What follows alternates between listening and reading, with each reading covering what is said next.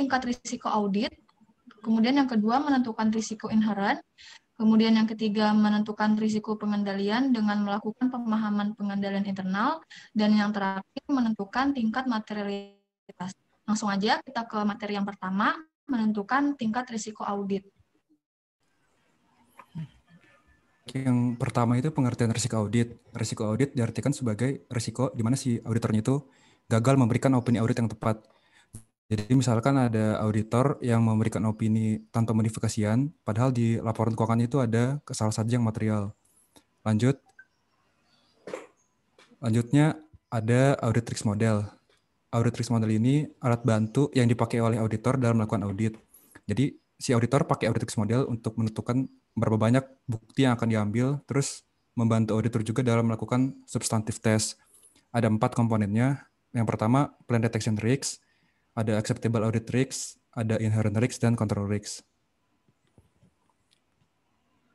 Yang pertama, plan detection risks. Uh, merupakan risiko di mana si auditor itu tidak bisa mendeteksi adanya salah saja material. Yang kedua, acceptable audit risks ini pengertiannya sama kayak audit risk tadi, resiko di mana si auditor salah memberikan opini audit. Lanjut. Yang ketiga ada inherent risk atau sering disebut sebagai risiko bawaan, merupakan risiko muncul salah saji karena sifat bawaan atau sifat alami dari suatu akun. Kalau inherent risk ini nggak bisa dikontrol sama si auditor, tapi bisa diestimasi berapa besarannya.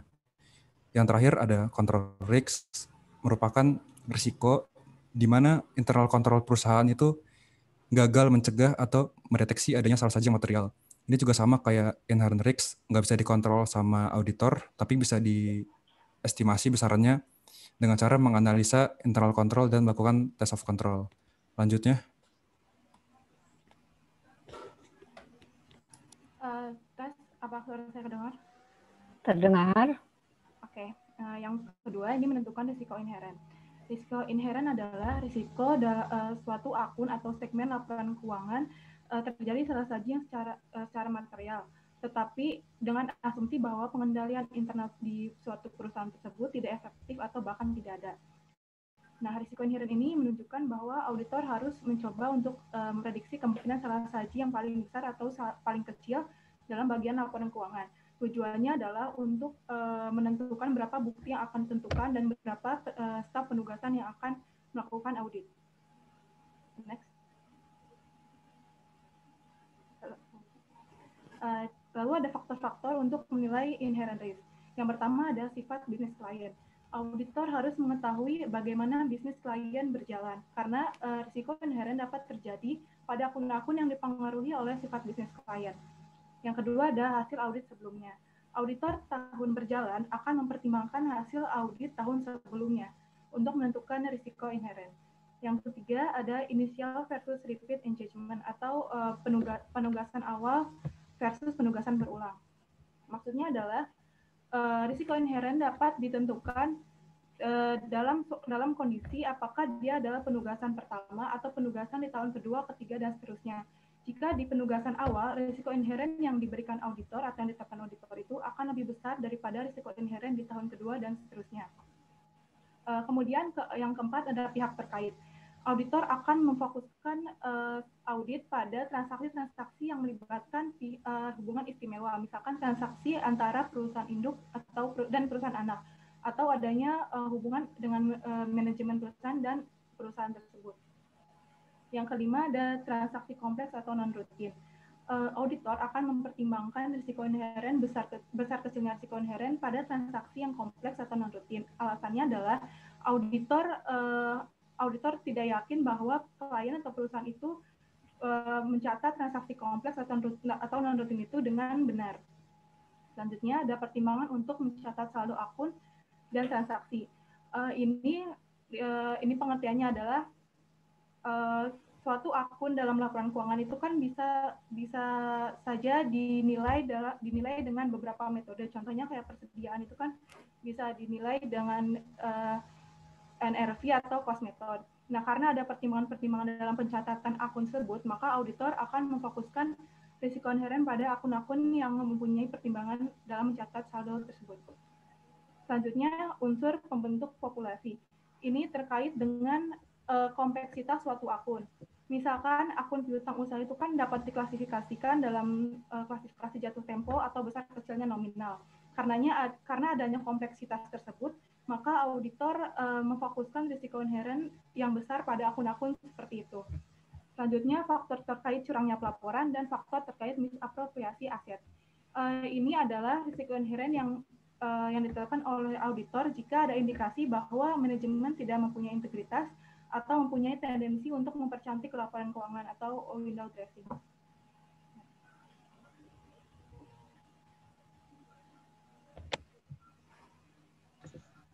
Selanjutnya yaitu menentukan risiko pengendalian dengan melakukan pemahaman pengendalian internal.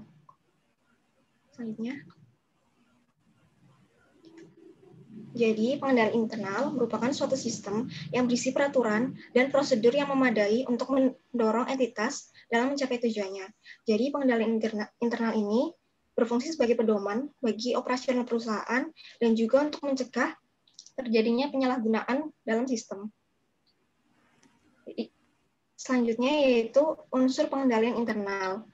Jadi, menurut COSO Framework, ada lima unsur pengendalian internal, yaitu yang pertama, lingkungan pengendalian. Di dalam di dalam lingkungan pengendalian ini, auditor menilai uh, lingkungan pengendalian ini harus berdasarkan pada integritas dan juga nilai etis. Kemudian juga ada pertimbangan dan kompetensi, partisipa partisipasi Dewan Komisaris, yaitu untuk memastikan bahwa manajemen ini mengendalikan uh, pengendalian internalnya itu secara tepat.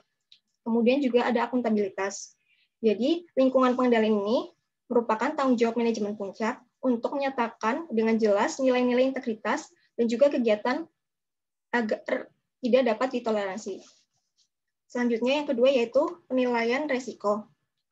Penilaian resiko ini uh, merupakan identifikasi dan juga menganalisis faktor-faktor yang bisa menciptakan resiko bisnis serta menentukan bagaimana caranya untuk mengelola risiko tersebut. Yang ketiga, aktivitas pengendalian. Aktivitas pengendalian ini uh, bertujuan untuk mengurangi terjadinya kecurangan. Manajemen ini harus merancang kebijakan dan juga prosedur-prosedur untuk mengidentifikasi resiko tertentu yang dihadapi oleh perusahaan. Dan aktivitas pengendalian ini dibagi menjadi lima, yaitu ada yang pertama pengendalian tugas dan fungsi. Kemudian ada otorisasi, transaksi, dan juga aktivitas. Kemudian ada transaksi dan catatan yang memadai, ada pengendalian fisik atas aktivitas dan catatan, serta pemeriksaan independen dan juga kinerja. Yang keempat yaitu informasi dan juga komunikasi. Informasi ini merupakan uh, suatu hal yang sangat penting bagi uh, karena akan berpengaruh dalam pencapaian tujuan. Nah, informasi ini bisa berasal dari internal dan juga eksternal, serta harus bersifat andal relevan, dan juga tepat waktu. Nah, informasi tersebut kemudian dikomunikasikan uh, kepada seluruh karyawan perusahaan mulai dari tingkat rendah sampai tingkat tertinggi. Selanjutnya yaitu monitoring dan evaluasi. Nah, kegiatan monitoring dan evaluasi ini mencakup aktivitas manajemen sehubungan dengan penilaian mutu pengendalian secara berkala, termasuk juga untuk memastikan bahwa rencana pengendalian ini telah dilaksanakan, serta untuk mengevaluasi kelemahan yang ditemui dalam proses pengendalian. Sistem pengendalian ini harus dipantau secara berkala, serta apabila kekurangannya ini signifikan, harus dilaporkan kepada manajemen puncak dan juga kepada uh, Dewan Komisaris. Next. Selanjutnya yaitu tahapan pemahaman pengendalian internal. Yang pertama, yaitu memperoleh dan mendokumentasikan pemahaman tentang desain pengendalian internal. Jadi pada tahap ini, eh, auditor akan memperoleh pemahaman tentang bagaimana si sistem pengendalian internal diterapkan oleh entitas. Kemudian eh, auditor akan mengumpulkan bukti terkait rancangan-rancangan dan juga apakah rancangan tersebut telah diterapkan. Eh, bukti dokumennya ini berasal dari bentuk tertulis, serta bisa juga berasal dari kuesioner maupun dari bagan arus. Selanjutnya yaitu menilai resiko pengendalian. Pada tahap ini, auditor akan menilai berapa besarnya resiko pengendalian berdasarkan efektivitas sistem pengendalian internal. Tujuan dari menilai risiko ini agar uh, risikonya ini dapat diperkirakan serta menentukan bukti-bukti yang harus dikumpulkan itu seberapa besar. Yang ketiga yaitu uh, melakukan uji pengendalian atau test of control. Test of control ini uh, dilakukan oleh auditor untuk menguji seberapa efektif pengendalian apa resikonya. Prosedur-prosedurnya itu uh, meliputi mengajukan pertanyaan kepada personil klien yang tepat, kemudian juga bisa memeriksa dokumen, catatan, dan laporan, lalu uh, melakukan pengamatan aktivitas yang terkait dengan pengendalian, serta melakukan kembali prosedur klien.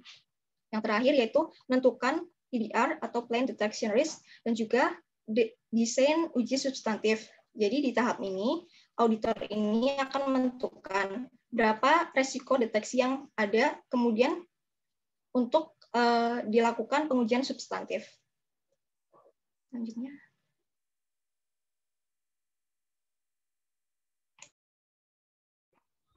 Selanjutnya, uh, materi menentukan tingkat materialitas. Apa sih materialitas itu? Uh, Materialitas itu adalah besaran nilai yang berpengaruh terhadap pengambilan keputusan terkait dengan jenis opini yang tepat dan sesuai dengan kondisi real entitas, di mana materialitas itu terdiri dari dua jenis, yaitu yang pertama merupakan materialitas pada tingkat keseluruhan laporan keuangan atau planning materiality, di mana ini bisa dicari menggunakan rumus rate dikalikan dengan base-nya. Kemudian yang kedua ada materialitas pada tingkat akun atau tolerable error, di mana tolerable error ini dapat dicari dengan nilai akun laporan keuangan tersebut dibagi dengan total populasi uji dikali dengan performance materiality.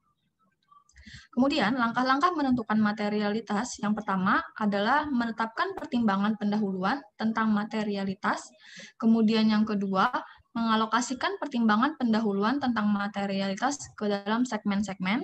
Kemudian yang ketiga, mengestimasi mengestimasi total salah saji di dalam segmen.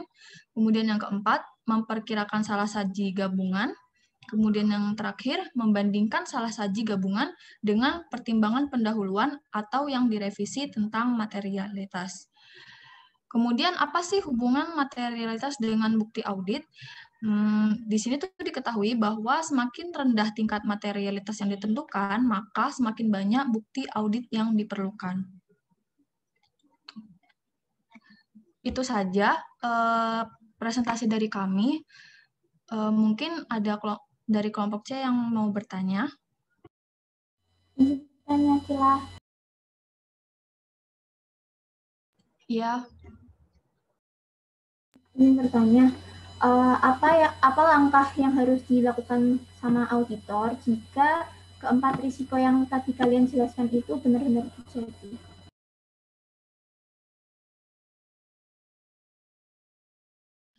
Mohon maaf Raras, uh, bisa diulang nggak? Soalnya tadi commute yang terakhir-terakhirnya. Oh ya, sorry, bentar ya. Uh, Oke, okay. langkah apa yang harus dilakukan auditor jika risiko yang kalian tadi jelaskan itu benar-benar terjadi. Udah jelas, Il? Udah jelas, uh, tunggu ya. Oke, terima kasih.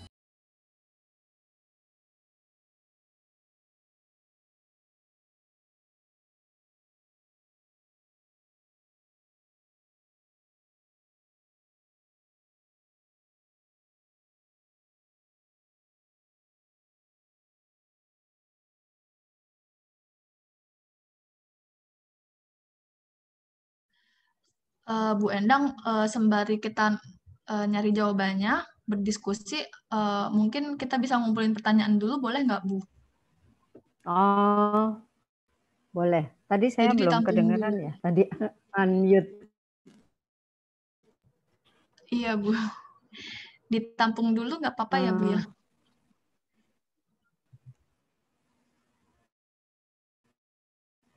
Oke, Pak. Sudah ada pertanyaan lagi. Siapa pun yang bertanya atau yang presentasi, tolong menyebut nama dan nomor ya, karena kan saya catat sebagai aktivitas.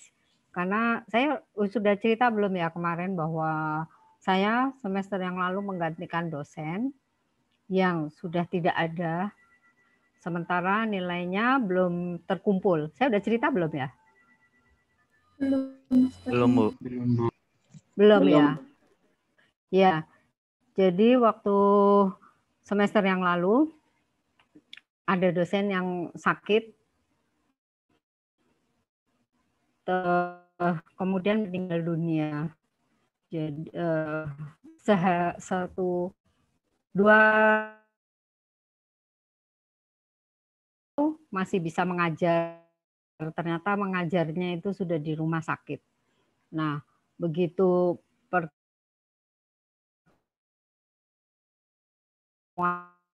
terakhir sudah ngajar waktu itu saya uh, diminta untuk menggantikan saya menggantikan pertemuan yang terakhir tapi kemudian ternyata uh, dosen yang bersangkutan meninggal dunia karena COVID. Nah, waktu itu setelah saya ngajar terakhir, kemudian kan UT, UAS ya. UAS, ternyata saya yang disuruh menilai juga. Nggak masalah ya, karena memang ada berkasnya saya menilai. Tapi ternyata saya diminta untuk memberi nilai akhir juga. Padahal kan ada kuis, ada aktivitas. Jadi eh, oleh putranya almarhum itu coba dibuka laptopnya akhirnya bisa juga ya tapi tidak ditemukan file yang terkait jadi nilai kuis atau nilai aktivitas gitu tidak ditemukan dan saya tak kesan apakah belum ada membuat mitigasi risiko untuk yang seperti ini karena yang saya tahu beberapa waktu sebelumnya juga ada beberapa yang juga meninggal di pada saat tengah pengadilan ya. Natasan belum mempunyai jadi ayah kemarin di uh, nilai ulang. Jadi kuis yang terakhir itu yang mereka jawabannya dikirim ke almarhum, dikirim semua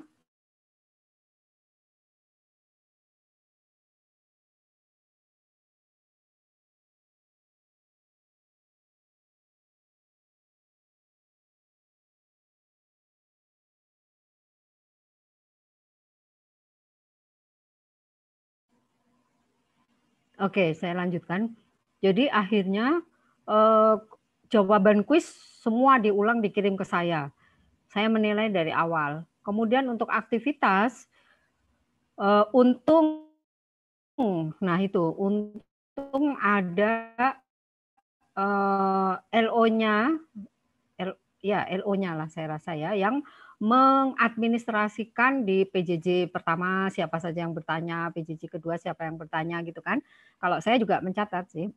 Nah, jadi ada uh, eh, LO yang membantu seperti itu. Jadi ada ada nilai aktivitas kan, itu saya masukkan sebagai nilai aktivitas.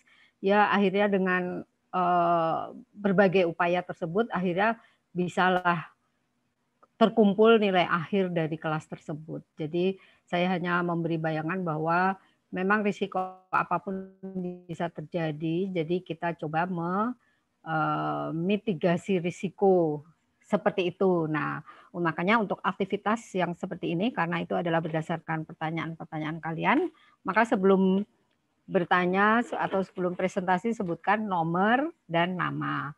Dan LO ya, saya minta juga uh, uh, INSI untuk juga membantu mengadministrasikan siapa yang nanya gitu ya. Kalau pertanyaan kan kalau langsung dijawab memang uh, tidak perlu, tapi kalau masih ada pertanyaan yang tertulis ya dikumpulkan juga nanti LO ngirim ke saya dan saya jawab secara tertulis.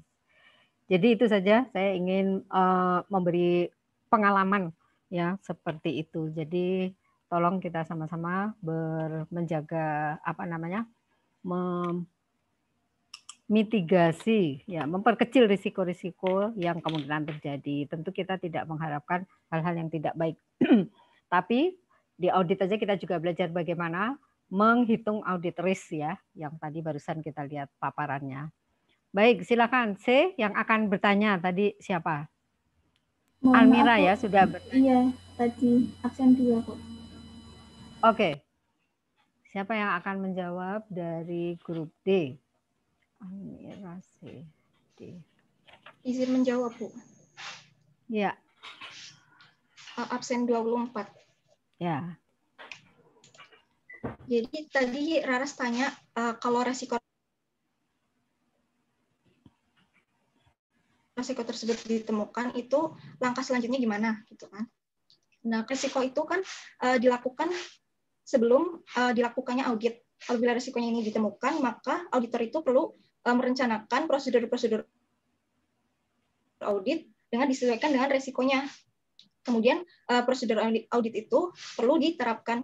Nah, apabila prosedur auditnya itu sudah diterapkan terus diuji, itu diuji bisa dilakukan dengan melakukan substantif test dan juga test of control.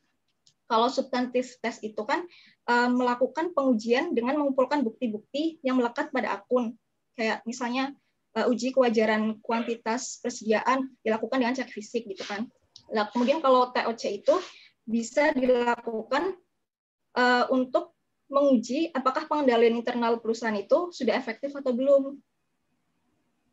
Jadi uh, disesuaikan dengan prosedur auditnya. Prosedur auditnya itu disesuaikan dengan resikonya. Itu, Bu. Ya. Ya, bagaimana Almira?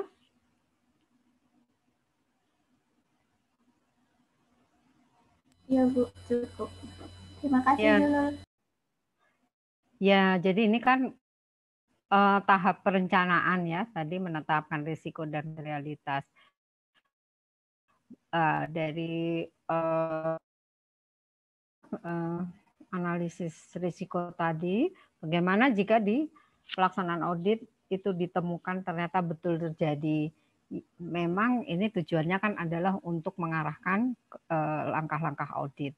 Jadi kemudian dilakukan yang namanya substantif test, kontrol test, ya seperti yang kemarin eh, sudah kita eh, pelajari waktu awal ada test of detail balance ya untuk membuktikan bahwa apa yang disinyalir di dalam risiko audit tadi itu terjadi eh, atau tidak. Nah, itu langkah-langkah yang tadi eh, Nuzul sudah bilang juga bahwa ada di program auditnya.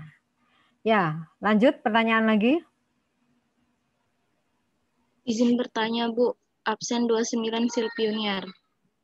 Oke, 29 Silvi, silahkan. Eh, izin bertanya kepada kelompok yang tadi presentasi. Sebelumnya makasih juga karena udah ngejelasin tentang materialitas. Eh, saya mau tanya, alasan kenapa tingkat materialitas ini menjadi suatu pertimbangan awal auditor dalam menyusun proses audit itu apa ya? Gimana, Kil? Hmm, Eh, izin menjawab, Bu. silahkan. 21 Nadia Gila. Oke. Oke, 21 Nadia. Jadi eh, tingkat materialitas itu kan eh, suatu batas salah saji, suatu informasi kan ya, Silv. Nah, ketika kita udah tahu di awal,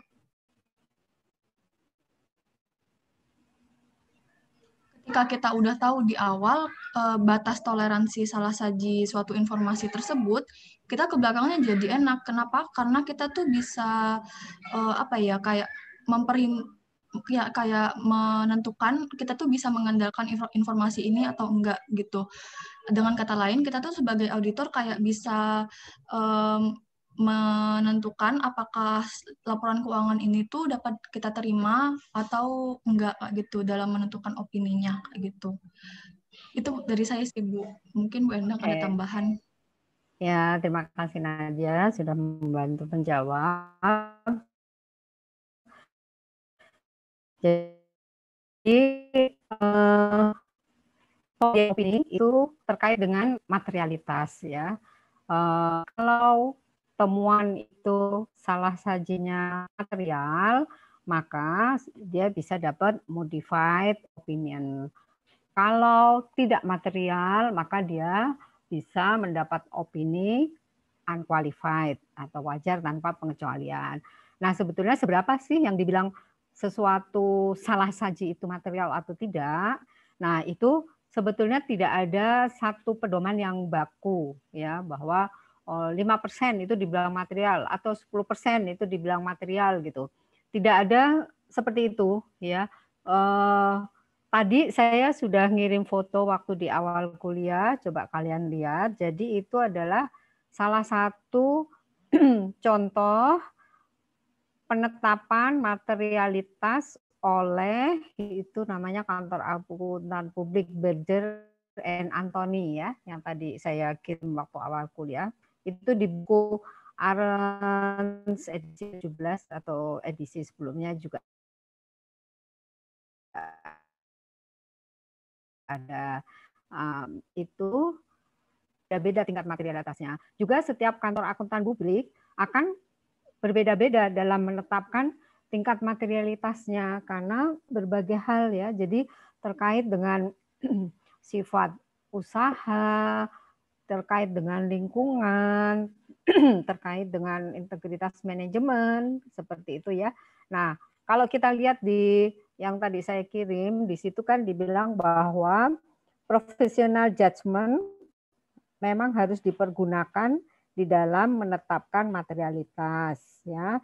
Tetapi ada beberapa hal yang bisa dipergunakan sebagai acuan ya di sini butir satu. The combined total misstatement jadi eh, materialitas gabungan itu adalah ya, di atas 6% itu di, sangat uh, uh, dianggap material dan di bawah tiga persen itu tidak material ya. Nah, jadi eh, tiga sampai enam persen itu diukur ya dengan eh, basisnya itu bisa income statement, bisa balance sheet. Jadi kalau income statement itu bisa mendasarkan kepada income before tax gitu ya. Atau kalau balance sheet itu bisa mendasarkan kepada uh, persen terhadap uh, total aset atau aset lancar ya atau um, current liabilities. Nah, itu tergantung kepada jenis usaha. Tadi kan sudah ada juga uh, slide ya yang menyatakan seperti itu. Jadi tidak ada patokan sebetulnya berapa persen sesuatu itu dianggap material atau tidak ya. Tapi nah uh, kepentingannya tadi adalah untuk menentukan opini. Jadi setelah auditor memahami uh, kondisi perusahaan, lingkungan bisnis, jenis usaha, kemudian environment-nya, kemudian pengendalian internnya, maka kemudian di kantor akuntan itu kemudian dibahas ya di tim. Ini berapa materialitas yang diterangkan materialitas gabungan. Nah, nanti ada juga penetapan materialitas secara uh, akun. Nah, itu gunanya adalah nanti menentukan opini. Kalau ada salah saji di bawah materialitas yang ditetapkan tidak unqualified. Nah, jadi kepentingannya seperti itu. Kalau dulu pernah nih eh, ada standar audit di luar negeri itu menyatakan 10% itu material gitu ya. Kan materialitas itu sebenarnya juga bisa didefinisikan sebagai suatu angka yang bisa merubah keputusan para pembaca laporan keuangan.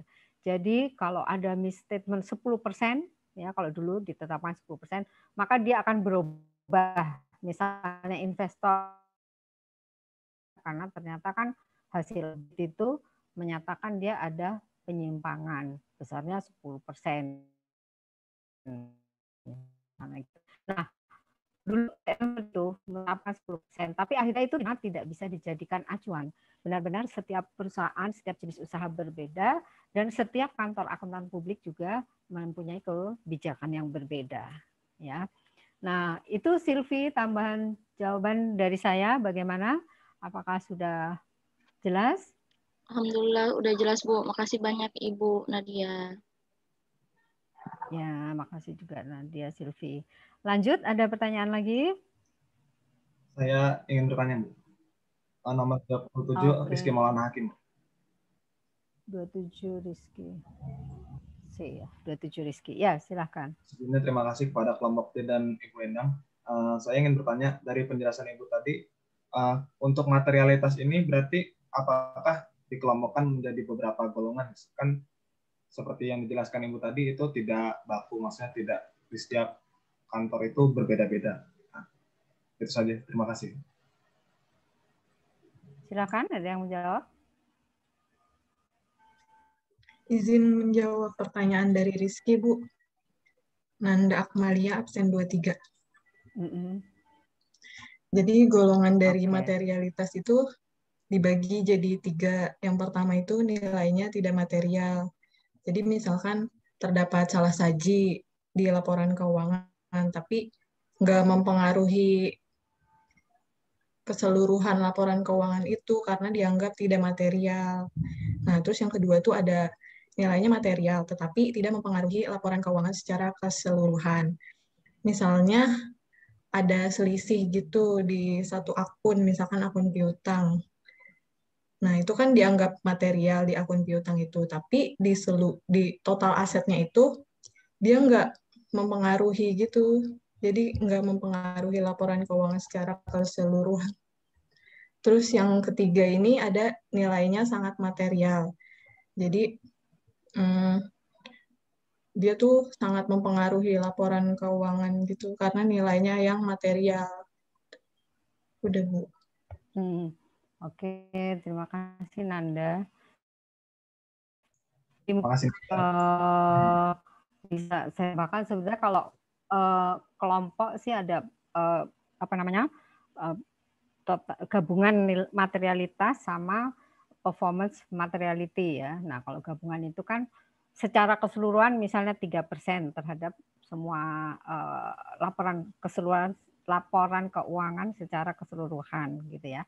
Tapi nanti kemudian ada performance materiality. Jadi nanti dari uh, overall overall materiality itu kemudian dipecah ke segmen-segmen karena kan auditor mengumpulkan bukti dari segmen segmen. Itu ya pos-pos neraca atau rugi laba.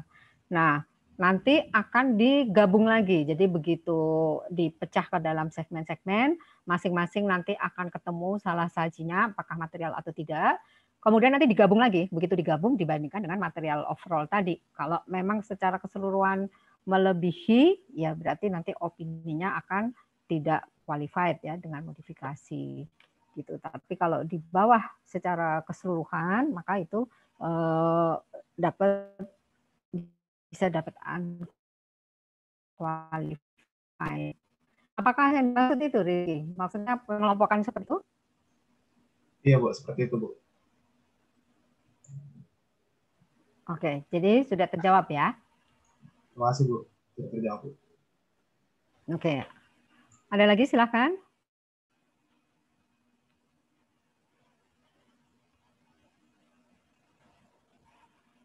Penanya dari C.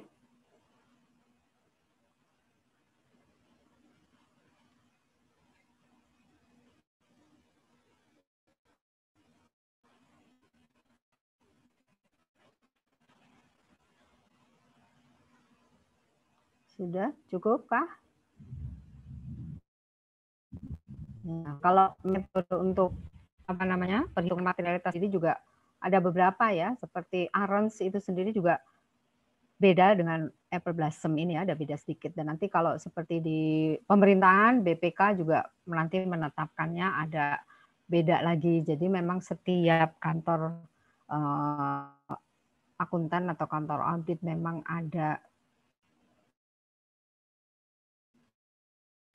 domain yang berbeda dan tidak ada yang salah, tidak ada yang benar tergantung kepada uh, asumsi yang mendasari mereka untuk menyusun pedoman tersebut.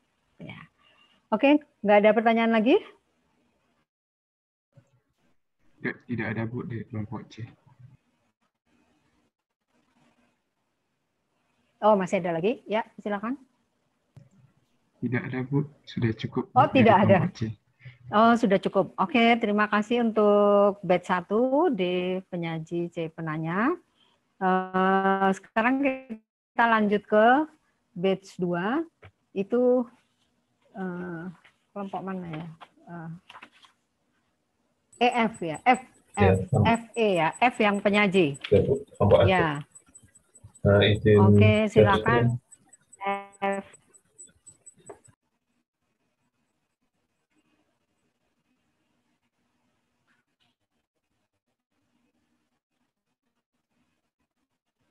Siapa yang akan menyajikan F?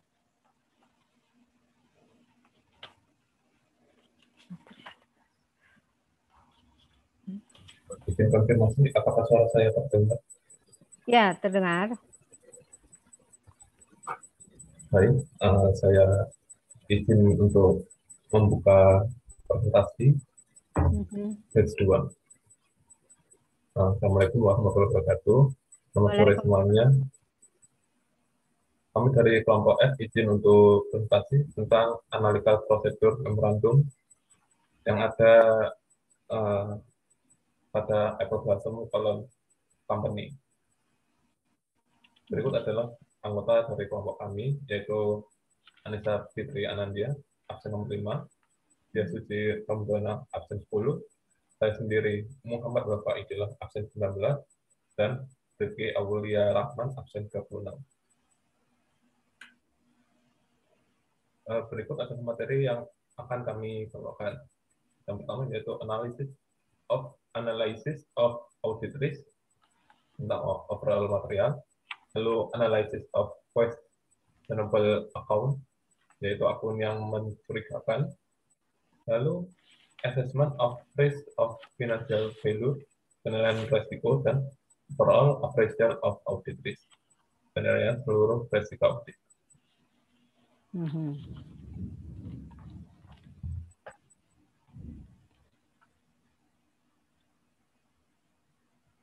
Sekarang kita beranjak pada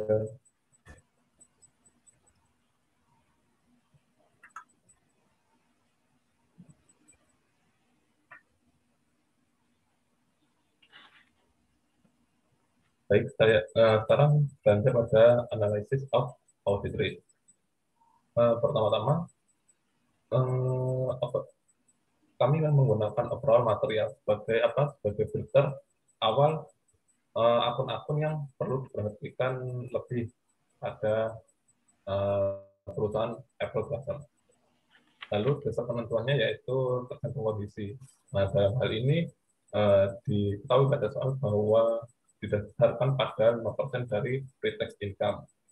Jadi, ambang materialitasnya yaitu menggunakan 5% dikalikan net income before tax. Ditemukan sebesar 20.929. Nah, ini digunakan sebagai batas filter. Nah, setelah itu kita eh, kami mendapatkan informasi eh, akun-akun yang memerlukan perhatian lebih. Antara eh, di sini terdapat 22 akun yang membutuhkan perhatian lebih. Karena apa? Karena perubahan saldo dari tahun 2002 ke 2003 itu melebihi 20.929 tadi. Yang pertama adalah akun Cashpick City National Bank. Nah, perubahannya yaitu sebesar 300 ribu lebih. Nah, kemungkinannya, uh, kemungkinan alasan salahnya itu mungkin ada kesalahan memasukkan transaksi, sehingga menyebabkan uh, kasnya itu bernilai overstated. Berikut juga nomor dua, uh, cash second national bank, mungkin juga ada kesalahan memasukkan transaksi. Lalu yang nomor tiga, contraceptible, melebihi Nah, perubahannya melebihi overall material. Uh, kemungkinan errornya ada kesalahan perhitungan account receivable. Lalu yang nomor 4, inventory. Nah, ini inventory-nya dari tahun 2002 ke 2003 berkurangnya uh, dinilai cukup banyak. Nah, mungkin uh, kemungkinan errornya ada kesalahan perhitungan fisik persediaan. Lalu yang nomor lima, investment in securities uh, berkurang, turun dari 2002 ke 2003 sebesar 250-an lebih. Nah, mungkin kesalahannya, uh, mungkin errornya ada kesalahan dalam catatan. Lalu yang nomor 6, machinery and equipment. Nah, ini perubahannya cukup tinggi, besar 400 ribu. Uh, mungkin kesalahannya ada pencatatan aktifat tetapnya. Berikut uh, mengikuti yaitu accumulated depreciation, machine and equipment sebesar 28.000 penurunannya. Nah, ini kesalahan pencatatan depresiasi sisi aktiva tetap karena uh, dilihat dari nomor 6, machinery equipment-nya naik, accumulated depreciation-nya malah kok turun gitu. Mungkin di sini ada kesalahan uh, pencatatan depresiasinya. Lalu yang nomor 8 juga accumulated depreciation automatic dan equipment juga ada kesalahan pencatatan. Lalu yang nomor 9 pada akun payable turun sebesar 87.611. Mungkin karena ada kesalahan pencatatan karena apa? Karena dalam suatu perusahaan memang uh, kan menjadi beban. Jadi dengan semakin berkurangnya beban, maka apa namanya semakin baik perusahaannya. Jadi mungkin ada uh, untuk mengurangi account payable-nya. Terus nomor 10 upload payroll tax sebesar 27.000 penurunannya. Berikut juga ada kesalahan pencatatan mungkin lalu wage and salaries payable perubahannya 81.000. Lalu yang nomor 12 federal income tax payable sebesar 38.000. Nah, ini mungkin ada kesalahan atau sistem pajaknya yang berbeda penggunanya. Lalu yang nomor 13 not payable uh, in short term banyak 125.000 14 not payable long term dan 15 uh, ya, dan not payable long term. Nah, di bagian not apa liability ini bisa karena adanya tuntutan untuk mempercantik laporan keuangan. Begitu. Sekian dari saya nomor 15 dan slide selanjutnya akan dilanjutkan oleh teman saya. Terima kasih. Ya, selanjutnya akan dilanjutkan sama saya, Rifki Aulia Rahman, absen 26. Ini, maaf itu ada interest expense di situ, Dembil. Uh, interest expense nambah 6.354 yang dikira-kira ada kesalahan pencatatan. Lalu selanjutnya, itu return earning tambah 257 248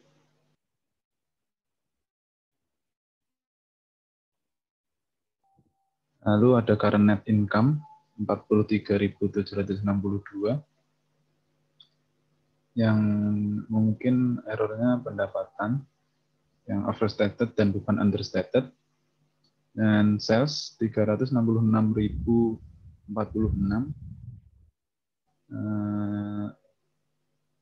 yang mungkin dari kesalahan pencatatan COGS 145.703 tambah.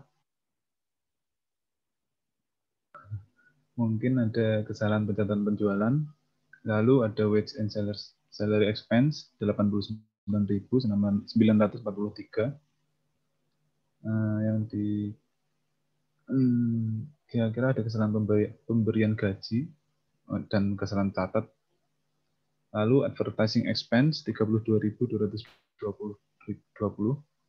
Eh, nah, ini ada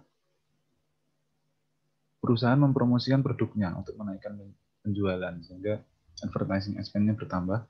Lalu ada professional fees 23.000 ini untuk membayar upah profesional, lalu ada gain and loss sale of asset 33.908. Selanjutnya untuk analisis uh, akun yang dipertanyakan. Jadi akun yang dicurigai gitu.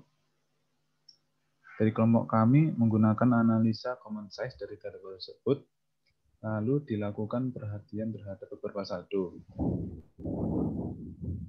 Untuk uh, dapat dilihat dalam common size financial statement bahwa interest expense ini bertambah ya, bukan berkurang.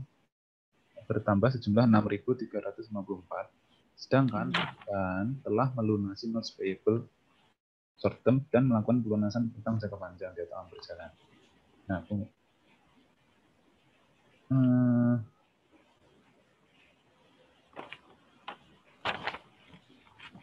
Oh ya, ini uh, penambahan interest expense tidak menggambarkan kenaikan yang berimbang terhadap struktur utang perusahaan. Jadi, uh, interest expense-nya bertambah, sedangkan perusahaan itu sudah membayar utang-utangnya gitu. Jadi uh, agak dicurigai. Ini maaf teksnya agak belibet. Oke. Okay. Ya lalu bisa dilanjutkan oleh saya. Cuma satu. Ini yang questionable accounts. Iya, Bu. Ini masih masih belum ter Iya, sebenarnya banyak juga tadi kan yang apa salesnya naik tapi apa tadi itu?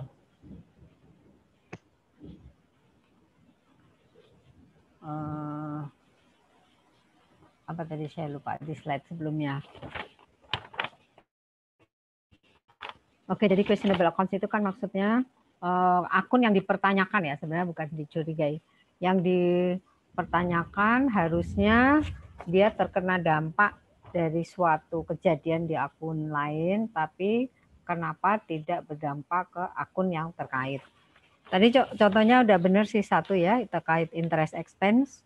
Interest expense naik, kenapa? Padahal kok sudah ada pelunasan. Uh, mungkin perlu dilihat juga uh, siapa tahu ada berarti uh, dia ada hutang yang baru mungkin ya, mungkin ya. Namanya ini juga masih planning waktu awal ya, jadi bisa saja hal lain terjadi. Ya, kalau gitu lanjut lanjut deh ke berikutnya. Setelah melakukan analisis atas risiko audit dan menentukan questionable account, selanjutnya saya, Nisa Fitriana di absen 5, akan melakukan assessment of the risk of financial failure. Assessment of the risk of financial failure ini uh, berguna untuk menentukan apakah perusahaan itu akan atau sedang berada dalam ambang kebangkrutan. Nah, pada kasus kali ini kita akan menggunakan tools analisis rasio keuangan. Uh, misalnya terjadi uh, indikasi kebangkrutan, maka nanti analisisnya akan menunjukkan masalah yang signifikan. Yang pertama ada liquidity ratio. Nah, liquidity ratio ini adalah rasio yang mengukur kemampuan perusahaan dalam membayar kewajiban jangka pendeknya. Yang pertama ada current ratio. Current ratio ini kemampuan perusahaan uh, rasio yang mengukur kemampuan perusahaan untuk membayar kewajiban jangka pendeknya menggunakan seluruh aset lancar yang dimiliki. Pada tahun berjalan, pada tahun 2003, current ratio Apple Blossom itu sebesar 6,77 yang mana angka ini lebih tinggi dari median industri yang hanya 1,9. Hmm. Selanjutnya juga karena rasio Apple Blossom ini menunjukkan peningkatan dari tahun sebelumnya sebesar 3,6. Uh, kenaikan kan rasio ini juga di, diimbangi dengan adanya kenaikan penjualan. Kenapa uh, kan rasio itu hubungan dengan dengan penjualan? Karena kalau penjualan naik, income kan juga naik. Nah, nanti berarti otomatis kemampuan perusahaan dalam bayar utang jangka pendek itu juga akan naik. Next. Nah, selanjutnya ada quick ratio. Quick ratio ini itu rasio yang mengukur kemampuan perusahaan dalam uh, membayar kewajiban jangka pendeknya menggunakan menggunakan aset lancar yang paling liquid. Mm -hmm. Nah, karena menggunakan lancar yang paling liquid, quick ratio ini itu tidak memperhitungkan inventory. Kenapa tidak memperhitungkan inventory? Karena inventory itu uh, dianggap memerlukan waktu untuk uh, dapat diubah menjadi kas, harus dijual dulu kan, harus ada pelanggan yang beli dulu gitu. Jadi uh, inventory ini dianggap kurang liquid sehingga tidak diperhitungkan dalam quick ratio. Lalu uh, sama seperti kanan rasio yang sebelumnya, quick ratio ini memiliki angka yang lebih tinggi dari median industri dan juga mengalami kenaikan dari tahun sebelumnya. Dan dari kan rasio dan juga quick ratio ini dapat disimpulkan bahwa uh, kemampuan Apple Blossom itu dalam bayar kewajiban jangka pendeknya cukup baik. Mm-hmm. Selanjutnya ada activity ratio. Activity ratio ini bisa juga disebut dengan uh, rasio operasi atau rasio perputaran yang mengukur uh, apakah perusahaan itu efisien dalam dalam mengelola piutang, persediaan, dan aset tetapnya. Yang pertama ada account receivable turnover. Account receivable turnover ini mengukur uh, keefisienan uh, pengelolaan dalam penagihan piutang. Pada tahun 2003, account receivable Apple Blossom mengalami penurunan yang cukup signifikan, yaitu sebesar 8,39. Penyebabnya adalah kenaikan nilai piutang yang sebesar 52,47 persen hanya diiringi dengan kenaikan penjualan sebesar 9,37 persen. Kita semua kan tahu kalau misalnya rumus untuk mencari receivable turnover itu credit sales dibagi dengan piutang. Nah, ini salesnya hanya meningkat sebesar 9,37 persen, sedangkan piutangnya meningkat sebesar 52,47 persen. Jadi account receivable-nya turun. Walaupun turun turun yang cukup signifikan ini, tapi posisi uh, Apple Blossom ini tuh di industri yang sejenis masih aman karena masih berada jauh di atas median industri yang hanya sebesar 10,43. Hmm. Selanjutnya ada days receivable ratio. Rasio ini itu menunjukkan um, berapa lama sih waktu yang dibutuhkan oleh pelanggan untuk melunasi piutang kita days receivable ratio ini itu berkaitan dengan account receivable turnover yang sebelumnya. Kalau misalnya account receivable turnover yang tadi itu uh, naik, berarti kan efisiensi pengelolaan piutangnya bagus. Nah, days receivable-nya akan turun karena uh, waktunya akan menjadi semakin singkat gitu. Uh, pelanggan membutuhkan waktu semakin singkat untuk melunasi utangnya jika efisiensi pengelolaan piutang itu baik. Nah, sedangkan yang tadi itu kondisi turnover-nya kan turun. Berarti menjadi kurang efisien. Dan distributable ratio yang ada di sini akan naik. Yang artinya eh, pengelolaan piutang itu kurang efisien. Sehingga waktu yang dibutuhkan oleh pelanggan untuk membayar piutang kita itu menjadi semakin lama. Nah, walaupun eh, terjadi kenaikan distributable rasio di sini, yang artinya penagihan piutang perusahaan jadi jadi kurang liquid, tapi posisi ini juga masih aman karena masih jauh berada di bawah median industri. Karena median industrinya 35. Terus karena eh dari account receivable turnover yang tadi dan receivable ini dapat disimpulkan bahwa Apple Blossom itu memiliki pengelolaan piutang dan kebijakan kredit yang cukup baik. Dan itu memiliki pelanggan yang berkualitas juga dalam hal tulisan. Selanjutnya ada inventory turnover. Inventory turnover itu uh, menunjukkan pergerakan persediaan dan berapa kali perusahaan menjual dan mengganti persediaan yang ada di gudang. Inventory turnover ini tuh untuk mengukur ada nggak sih kelebihan inventory. Nah, di sini inventory turnover Apple Blossom mengalami kenaikan yang tadinya sebesar 1,83 menjadi 2,42. Akan tetapi kenaikan ini masih belum cukup karena masih berada di bawah median industri. Ini berarti pengelolaan uh, persediaan di Apple Blossom ini kurang baik, kurang efisien. Jadi karena kurang efisien, uh, Apple Blossom memiliki persediaan yang berlebih. Nah, persediaan yang berlebih itu kan butuh gudang untuk menyimpannya. Jadi akan meningkatkan biaya penyimpanan. Selanjutnya ada activity eh selanjutnya ada desk inventory ratio. disinventory rasio ini mengalami penurunan yang cukup signifikan. Akan tetapi masih berada sangat jauh di atas uh, median industri. Disinventory ini, disinventory rasio itu adalah rasio yang mengukur berapa lama sih perusahaan itu butuh waktu buat menjual persediaannya. Nah, ini berarti uh, menunjukkan bahwa Blossom itu membutuhkan waktu yang sangat lama untuk dapat menjual persediaannya. Terus juga uh, membutuhkan biaya eh biaya penyimpanan yang lebih karena kan kalau misalnya waktu waktu menjualnya itu lama berarti presiden itu harus disimpan dulu. Berarti kan ada biaya penyimpanan kan. Nah akan tetapi di sisi lain juga produk yang dijual Apple Blossom itu kan berupa parfum, krim, lotion dan sebagainya yang memiliki kadaluarsa yang lumayan lama. Jadi tidak begitu bermasalah. Dan uh, tidak bisa langsung dikatakan performa Apple Blossom itu buruk karena hal ini gitu. Yang terakhir ada aset turnover.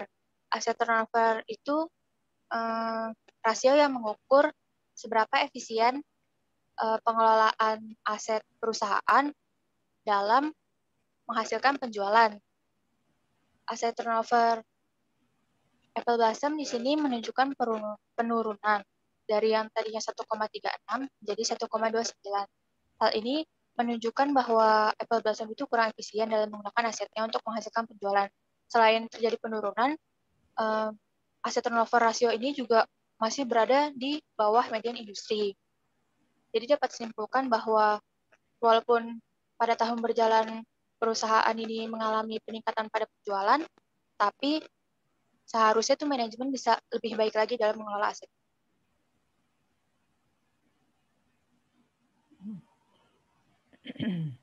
Selanjutnya yaitu profitability ratio. Nah, rasio profitabilitas ini mengukur kemampuan perusahaan dalam menghasilkan laba, yaitu dengan cara membagi net income net income dengan elemen-elemen di laporan keuangan lainnya. Nah, yang pertama yaitu income to net worth atau yang biasa disebut juga dengan return on equity atau return on investment. Nah, seperti yang kita lihat pada tabel tersebut, eh, pada tahun 2002 sampai 2003 ternyata uh, rasionya itu sama, yaitu sebesar sebesar 0,13. Nah, jadi uh, istilahnya cenderung konstan. Uh, hal ini menunjukkan bahwa untuk setiap satu dolar yang diinvestasikan oleh investor pada uh, Apple Blossom Company, uh, pemegang saham itu akan memperoleh tambahan nilai ekuitas sebesar 0,13 dolar. Uh, ini masih di atas uh, median industri walaupun nggak signifikan ya, yaitu sebesar 0,12. Uh, ROI ini maksud saya return on equity ini mengukur kemampuan efektivitas perusahaan dalam memberikan penghasilan bagi setiap investasi dan ini uh, khusus dalam bentuk uh, investasi saham di ekuitas. Uh, selanjutnya yaitu income to total asset.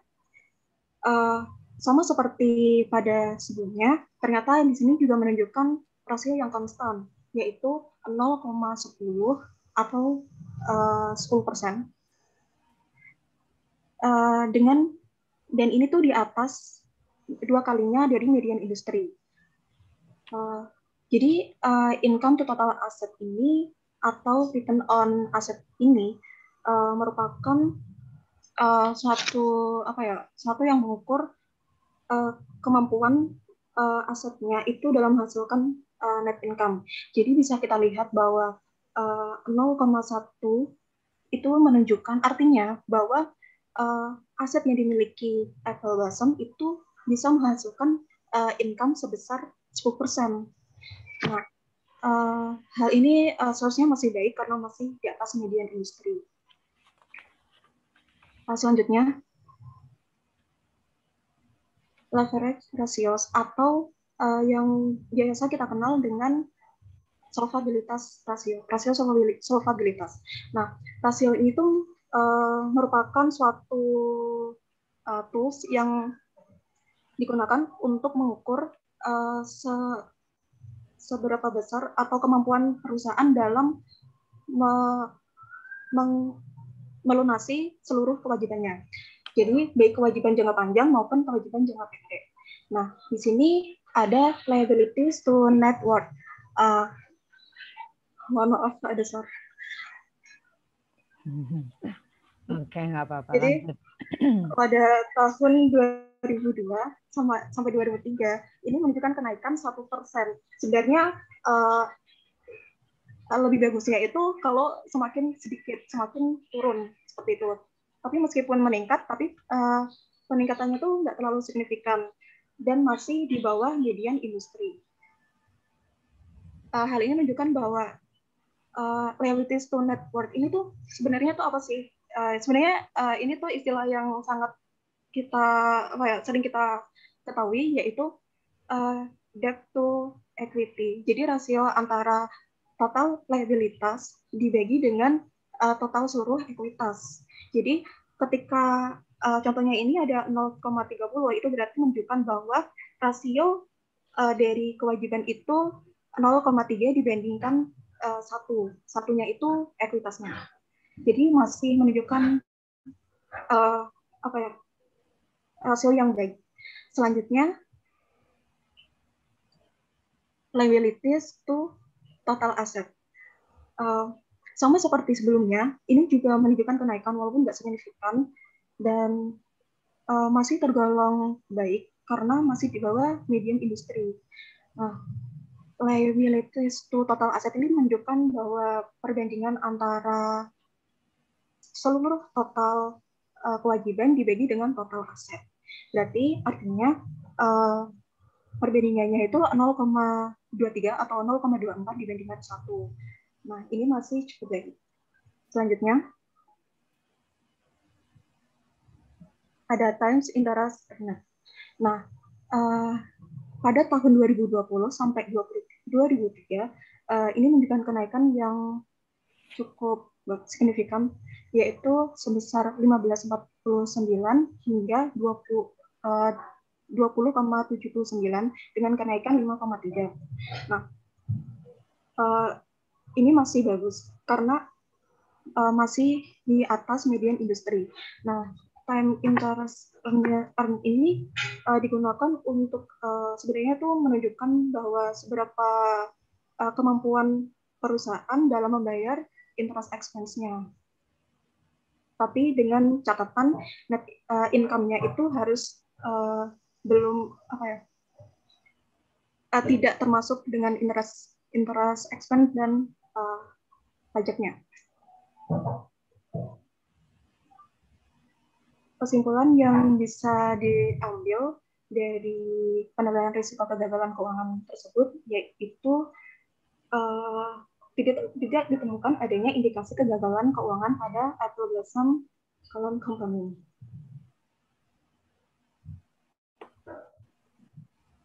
Selanjutnya, yaitu overall appraisal of audit risk. Uh, jadi penilaian keseluruhannya terkait uh, risiko audit ini berdasarkan hasil analisis yang telah dilakukan, uh, kelompok kami berpendapat bahwa Apple Blossom itu termasuk ke, ke dalam kategori klien dengan risiko rendah. Uh, hal ini uh, dikarenakan seperti yang tadi sudah dijelaskan sebelum-sebelumnya bahwa rasio keuangan itu hampir seluruhnya itu cukup baik dan tidak ditemukan adanya indikasi kegagalan keuangan atau keberanggutan perusahaan. Uh, meskipun tadi sempat ada uh, status yang kurang baik atau buruk, tetapi penurunannya itu tidak terlalu signifikan. Kemudian untuk integritas manajemen itu dinilai baik karena telah dilakukan observasi bahwa hanya yang berintegritas yang memiliki, dan memiliki etika tinggi yang dapat bekerja di level BASEM.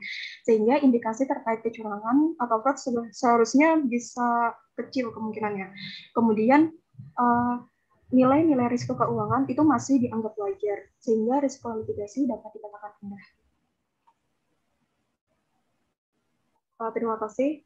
Uh, mungkin ada pertanyaan atau tanggapan atau koreksi dari teman-teman atau Ibu? Oke, terima kasih untuk grup F yang telah menyajikan terkait uh, analisis analytical procedure memorandum ya. Hmm, tadi yang agak buruk terkait dengan persediaan ya. Oke, tapi coba nanti kita lihat apa sebetulnya bisa auditor sarankan kalau terkait persediaan tadi. Ya, sebelumnya silakan kepada kelompok E untuk mengajukan pertanyaan. Kelompok E. Izin bertanya, Bu. Mm-hmm. Saya Dia Pratnya Narenswari, absen 11. um, tadi yang waktu awal banget, oh, yang bagian analisis risiko audit, ketika menganalisis risiko audit itu kan auditor membandingkan, menentukan akun-akun yang berisiko itu dengan cara membandingkan saldo per book dan saldo per audit. Nah, kalau misalnya terjadi perbedaan itu, apakah mungkin Perbedaan itu terjadi karena kesalahan dari pihak auditor, misalnya auditor salah melakukan perhitungan atau menentukan akun-akun yang berisiko. Nah, kalau misalnya mungkin, itu bagaimana sih tindak lanjut dari auditor? Terima kasih. Hmm, silakan, grup F.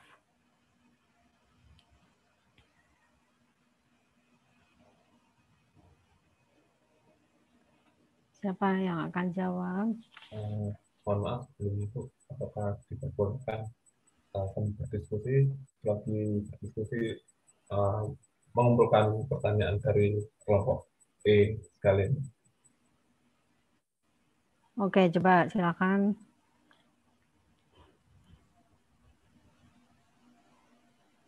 Izin bertanya, Bu. Mm -mm, siapa ini? Saya Azhar Saifullah absen nomor 10 eh nomor 6 maksudnya hmm, asal. pertanyaan saya terkait rasio keuangan sih Bu okay. kan quick ratio itu kan tidak memperhitungkan inventory karena dianggap kurang liquid hmm. kenapa piutang yang dimasukkan ke dalam uh, quick ratio padahal juga sepertinya tidak terlalu liquid karena memerlukan waktu juga untuk bisa diubah menjadi kas. Hmm. Ya, Bu, pertanyaan saya. Oke. Ada lagi?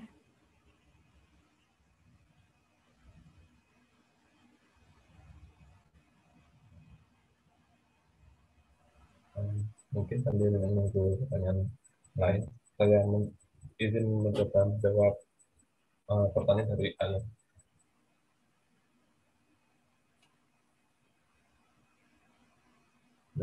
Halo. Ya, sementara mungkin baru dua apa dijawab dulu aja? Uh, ya, saya yang izin, ya, saya izin, Ada lagi? Saya izin mencoba menjawab pertanyaan yang pertama dari Ayam.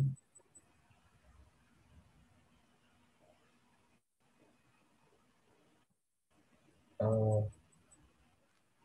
dalam hal auditor melakukan kesalahan itu sangat mungkin. Dan tindak lanjutnya uh, setelah apa namanya setelah auditor itu diketahui kalau melakukan kesalahan yaitu bisa uh, terkena sanksi berupa denda atau apa namanya pemberhentian uh, sementara dalam dalam memberikan jasa auditnya.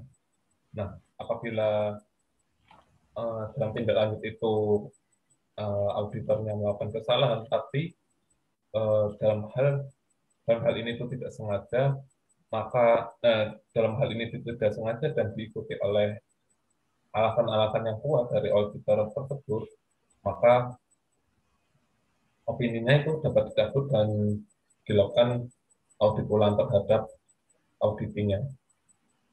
Uh, mungkin berikut adalah jawaban dari saya. Mohon maaf apabila ada kesalahannya. Terima kasih. Oke, jadi ini kan sebetulnya masih tahap perencanaan ya. Masih tahap perencanaan analytical prosedur untuk memperoleh risiko-risiko. Nah, di situ eh, auditor melakukan analisis dengan membandingkan dengan kondisi sebelumnya atau kondisi industri. Jadi kan masih tahap perencanaan, masih uh, semacam uh, prediksi saja gitu. Jadi tentu hal ini akan diperkuat pada saat melakukan pendalaman audit ya. Belum tentu apa yang tadi disinyalir itu kan betul. Jadi akan dilihat dengan menguji bukti-bukti yang ada. Jadi sekali lagi ini masih tahap perencanaan. Jadi bisa saja apa yang auditor lakukan analisis sementaranya tidak benar karena memang tergantung bukti-bukti. Karena tadi risiko dan materialitas itu kan untuk menentukan arah audit, yaitu yang tadi berisiko-risiko yang ada perbedaan-perbedaan, dan juga menentukan jumlah bukti yang harus diaudit berdasarkan nilai materialitas. Jadi memang hanya, bukan hanya, masih berupa perkiraan-perkiraan. Dan itu akan dibuktikan betul tidaknya di dalam pelaksanaan audit yang mendalam. Itu tambahan saya. Oke. Baik, terima kasih. Ya. Terima kasih Bu dan Dova. Sama-sama. Oke, sekarang pertanyaan Azhar. Tentang rasio tadi, siapa yang akan menjawab? Ya, ini saya Bu yang akan menjawab. Rifki Aulia Rahman absen 26. 26 Aulia. Rifki Aulia. Oke. Ya. Jadi pertanyaannya dari Mas Azhar Daula itu kan quick ratio tidak memperhitungkan inventory karena dianggap kurang liquid. Mengapa piutang dianggap liquid pada memerlukan waktu? Mungkin dari kelompok kami eh, karena piutang itu kan ada yang diskon dan ada yang jatuh tempo. Nah, mungkin yang eh, piutang yang seperti itu lebih cepat dilunasi oleh pembeli daripada inventory. Nah, kalau inventory itu uh, dikonversi ke kas seperti uh, dikonversi ke kas kan harus dijual. Sedangkan proses penjualan kan butuh uh, tempat uh, pasar, pembeli tertentu, persaingan produk dan lain-lainnya itu uh, dan tawar menawar. Nah, itu bisa rumit. Nah, mungkin itu yang Eh, membuat piutang itu liquid ada diskon dan jatuh tempo yang mempercepat ya udah gitu oh oke okay. uh, eh, siapa Rifki ya yeah. Rifki ya jadi memang kalau persediaan kan memang masih belum tahu kapan lakunya gitu ya masih uh, entah kapan tapi kalau account receivable kan memang sudah ada umur-umurnya, sudah ada uh, kategorinya dan itu sudah pasti gitu kan akan dibayar makanya tidak dieksklud dari quick ratio ya. Begitu Aser? Ya, baik Bu, terima kasih banyak dan Oke, ada lagi pertanyaan?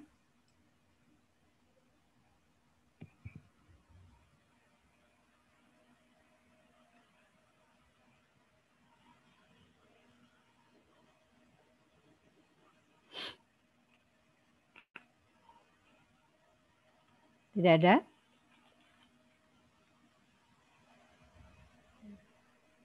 Ternyata dari kelompok kami sudah cukup.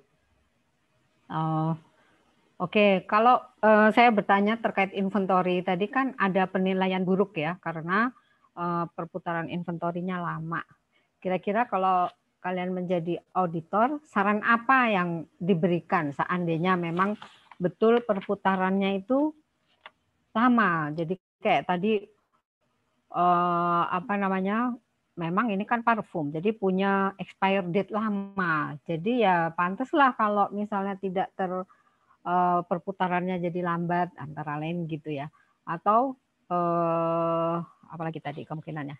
Kira-kira kalau kalian menjadi auditor sarannya apa supaya inventory itu bisa tidak terlalu lama disimpan sehingga perputarannya lebih cepat. Siapa yang bisa jawab? Yang akan mencoba menjawab silakan.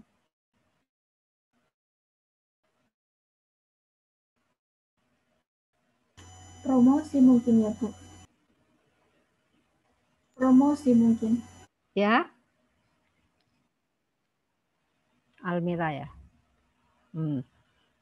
Oke, promosi uh, bisa lebih gencar, tapi mungkin akan meningkatkan biaya promosi. Nah, saran lain misalnya, ada saran lain? Mungkin produksinya di ini ya kan, diperkecil supaya nggak banyak yang idle gitu oh. inventory. Siapa ini? Azhar. Oh, Azhar. Ya, kalau produksi diperkecil, apakah Apple Blossom ini memproduksi? Kalau kalian ingat permanen file kemarin. Beli ke vendor, Bu. Enggak, Bu. Enggak. Iya kan? Jadi dia beli, betul Abdul Aziz. Jadi dia kan uh, beli dari vendor. Makanya salah satu caranya adalah mengatur sistem pembelian dengan vendor. Iya. Ya, jadi misalnya ada istilah JIT, just in time. Ya, itu salah satu metode pembelian. Jadi just in time itu adalah pesan pada saat diperlukan saja, pada saat sudah diperlukan. Memang mungkin nggak mepet-mepet amat, tapi ada perhitungannya. Nah, jadi itu juga mencegah penyimpanan yang lama, mencegah perputaran yang lama. Jadi eh, strategi yang bisa dilakukan adalah melakukan pendekatan ke vendor mengenai sistem pemesanan inventorinya. Ya. Oke, itu tambahan uh, ini aja uh, pengetahuan. Selanjutnya, kalau memang tidak ada pertanyaan lagi, terima kasih untuk grup F yang telah menyajikan dan grup E yang telah membuat beberapa pertanyaan. Nah, selanjutnya kita bisa ke batch 3.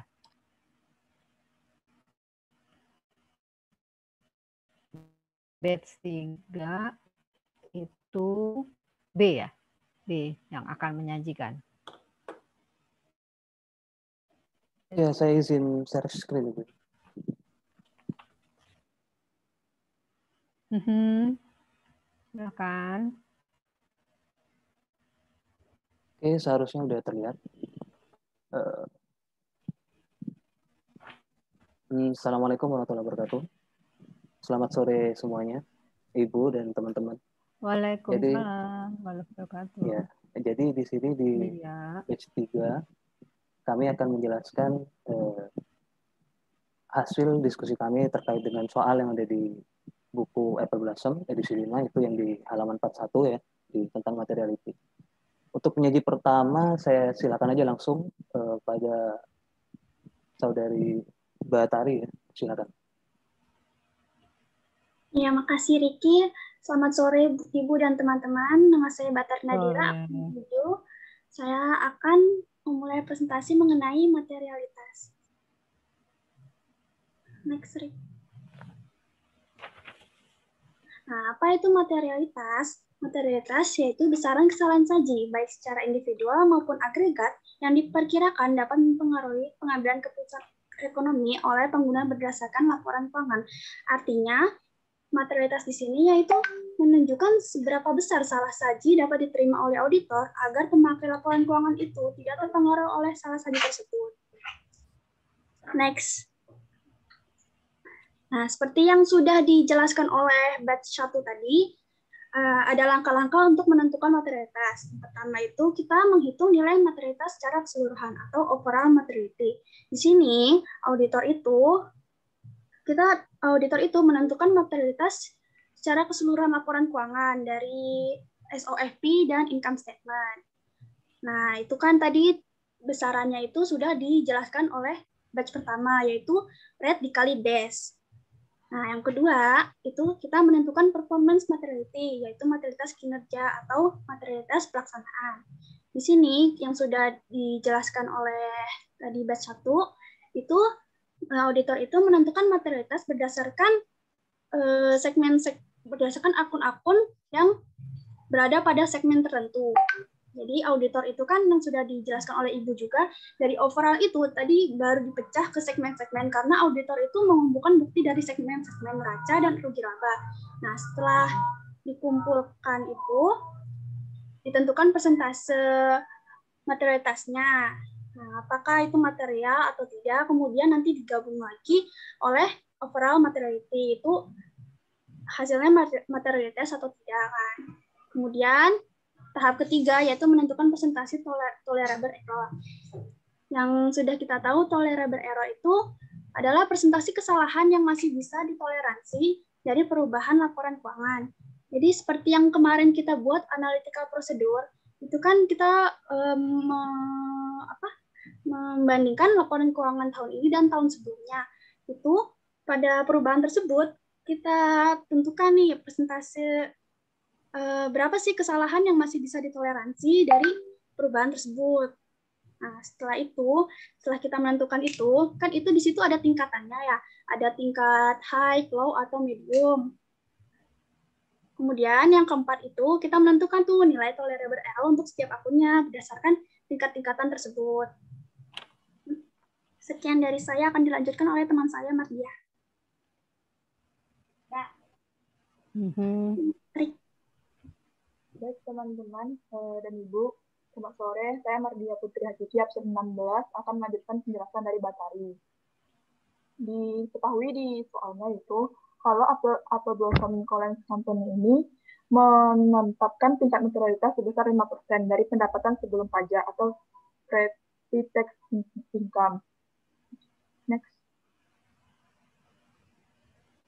Nah, langkah pertamanya itu kita menghitung nilai materialitas secara keseluruhan, di mana eh, 5% dikali pre-tax income eh, yang itu didapat pada prosedur analisis kemarin uh, earning before tax-nya itu sebesar 418.585 rupiah uh, dikali dengan 5 persen, katakanlah 20.929,25 atau dibuatkan aja menjadi 201.000. Yang kedua adalah kita menentukan performance materiality atau materialitas pelaksanaan, di mana uh, ini diperoleh dari professional judgment pada umumnya uh, ini ini berkisar antara 60 sampai 80 persen dari overall materiality atau materialitas keseluruhan.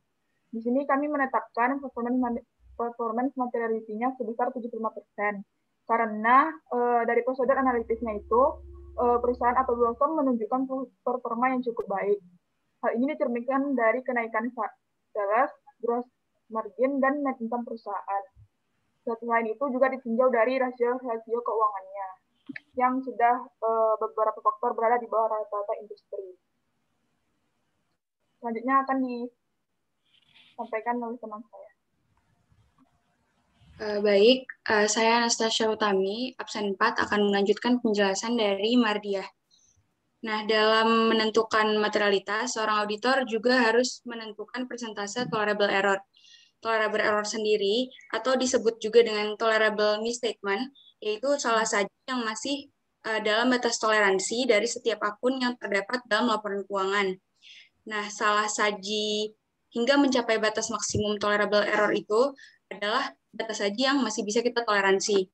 Nah, di sini dari kasus Apple Blossom, kami membagi tolerable error ke dalam tiga kategori, yaitu kategori low, medium, dan high untuk perubahan akun dari 0% sampai 20% itu kami kategorikan dalam kategori low dan uh, besar tolerable error-nya itu adalah 5%. Selanjutnya, perubahan di atas 20% sampai dengan 50% kami kategorikan dalam kategori medium dengan besar tolerable error sebesar 4%. Lalu uh, yang terakhir, perubahan di atas 50% itu kami kategorikan dalam kategori high dengan tolerable error sebesar 3%. Next.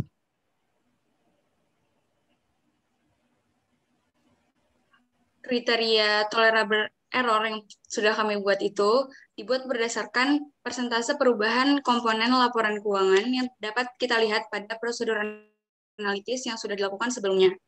Alasan pembagian kategori dalam tiga bagian seperti salinde sebelumnya, yaitu karena kami memiliki pertimbangan bahwa akun yang memiliki perubahan nilai yang cukup drastis, maka memiliki resiko yang lebih tinggi juga. Sehingga uh, salah saji yang bisa ditoleransi itu harus diminimalisir.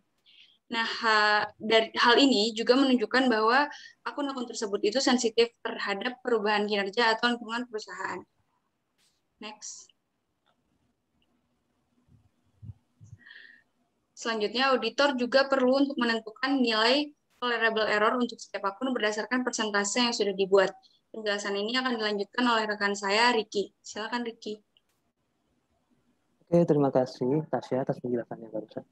Um, di sini uh, kalian bisa lihat ya, ini udah masuk ke perhitungannya, bagaimana cara menghitung tolerable error itu. Jadi ini semacam ya derivatif lah dari performance materiality. Gitu.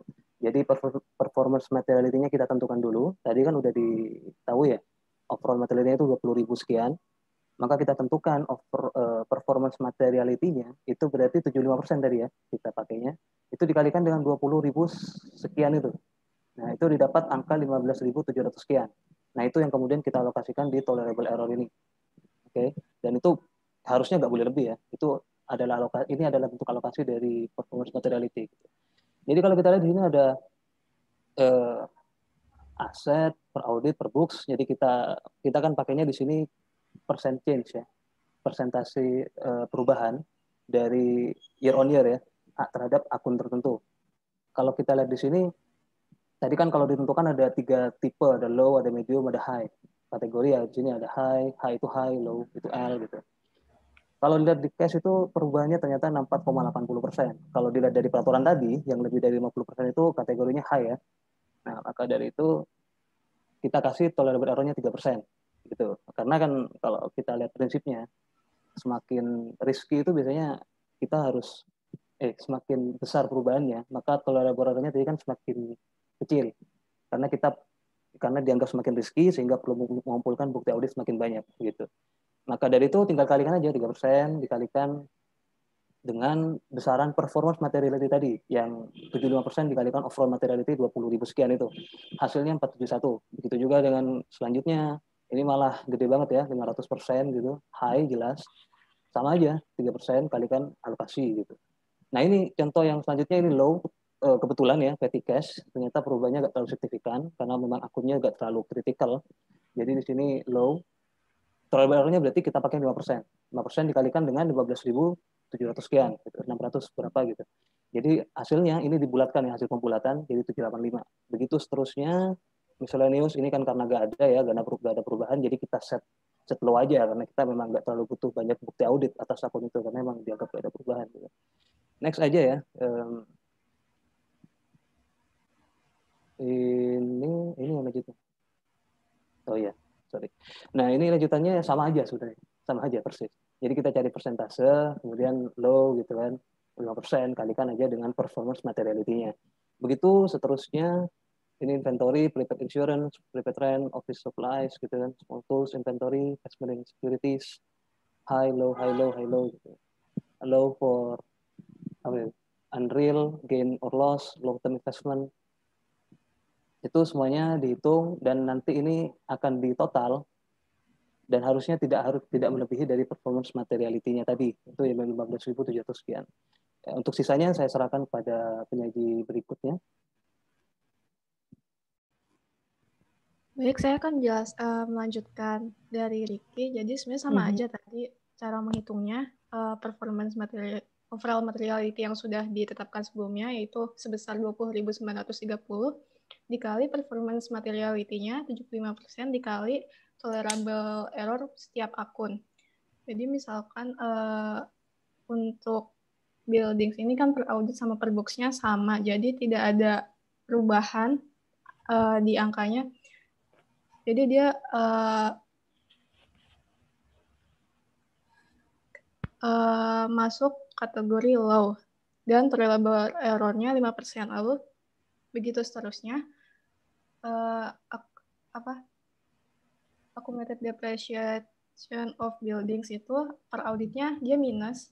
Per boxnya min min min 74 625 jadi uh, perubahannya itu 9209 persennya empat belas koma sepuluh persen itu kan tadi masuk kategori pertama low karena 0 sampai 20 persen berarti tolerable errornya lima persen dan uh, selanjutnya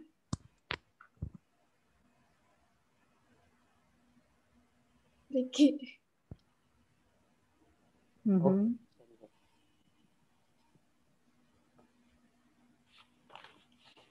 Next. Sebenarnya sampai slide belakang masih sama sih intinya. Uh, tadi rumusnya PM kali OM dikali uh, tolerable error persentasenya. Uh, ini untuk akun liabilitasnya.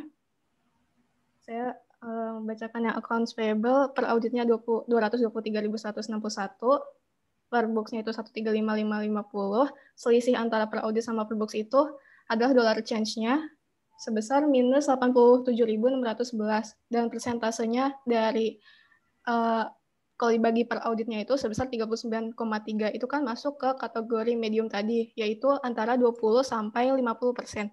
Jadi itu medium dan medium itu tolerable error-nya itu 4 persen. Jadi uh, 628 didapat dari 4 persen dikali 2930 dikali 75 persen. Lalu untuk yang lain yang high ini ada wages and salary, salaries payable. Jadi dia itu per audit 81.239. Sedangkan per boxnya itu dia nggak ada. Jadi dollar change-nya itu berarti minus 81.239. Persentasenya itu kan 100% alias semuanya dan itu di atas 50%, berarti dia itu kategorinya high. Dan untuk kategori high tadi, tolerable error-nya itu 3%, jadi 3% dikali 20.930 dikali performance materiality yang ditetapkan oleh perusahaan itu 75%, hasilnya 471. Dan itu juga diterapkan ke pos-pos akun yang lain di uh, kelompok liabilitas ini. Selanjutnya, masih lanjutan liabilitas lagi. Ini untuk equity, contohnya di common stock, per auditnya itu dia 925.000 dan per boxnya 925.000 juga, jadi tidak ada perbedaan. Maka dari itu, uh, dia persentase perubahannya 0%, termasuk kategori low, tolerable error-nya 5%, dan uh, nilainya 785. Ada lagi yang retain earning, yaitu 272.435, per boxnya 529, uh, 683, selisihnya itu 257, 248, 248 dan persentase perubahannya itu 94,43 persen. Kategorinya high berarti 3 persen dan tolerable error-nya 471. Dan dividends dia itu di per audit minus 17.575, per books-nya minus 23.125, dollar change-nya yaitu min, minus 8 eh minus 5.550 persen change-nya 31,58 persen termasuk kategori medium dan tolerable error-nya yaitu 4 persen dikalikan dengan PM dan OM hasilnya 628. Itu. Untuk total equity sendiri dia itu per audit 2.197.706 sedangkan per boxnya itu 2.493.166 dan selisih antara per audit dan per book itu 295.460 persentasenya dari 295.460 per 2.197.706 itu sebesar 13,44 persen termasuk kategori low dan tolerable error untuk total equity ini 5 persen dan nilainya 785.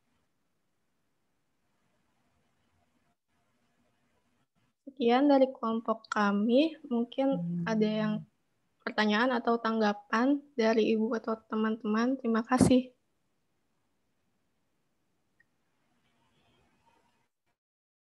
Oke, terima kasih. Apakah jumlah terakhir di tabel tadi uh,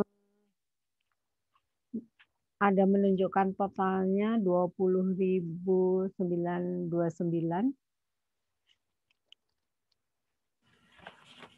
tolerable errornya.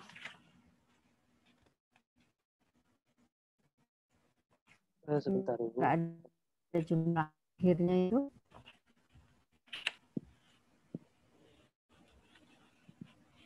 Nggak ada ya. Di tabel ini iya gak dijumlahkan. Sebenarnya kalau perhitungannya tepat harusnya ada walaupun nanti saya ada satu pertanyaan. Tapi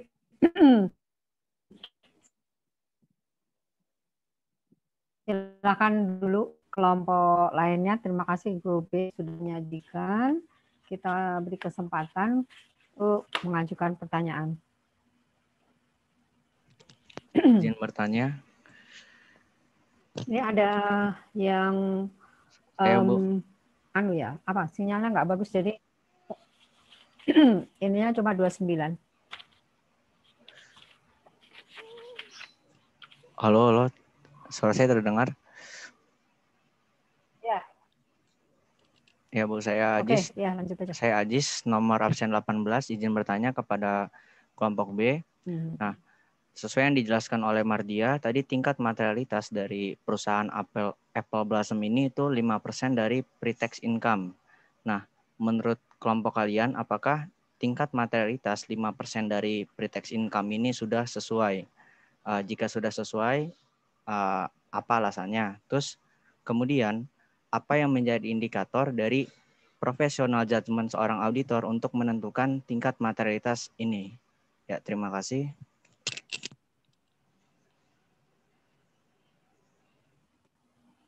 Ya, silakan pertanyaan Aziz dijawab.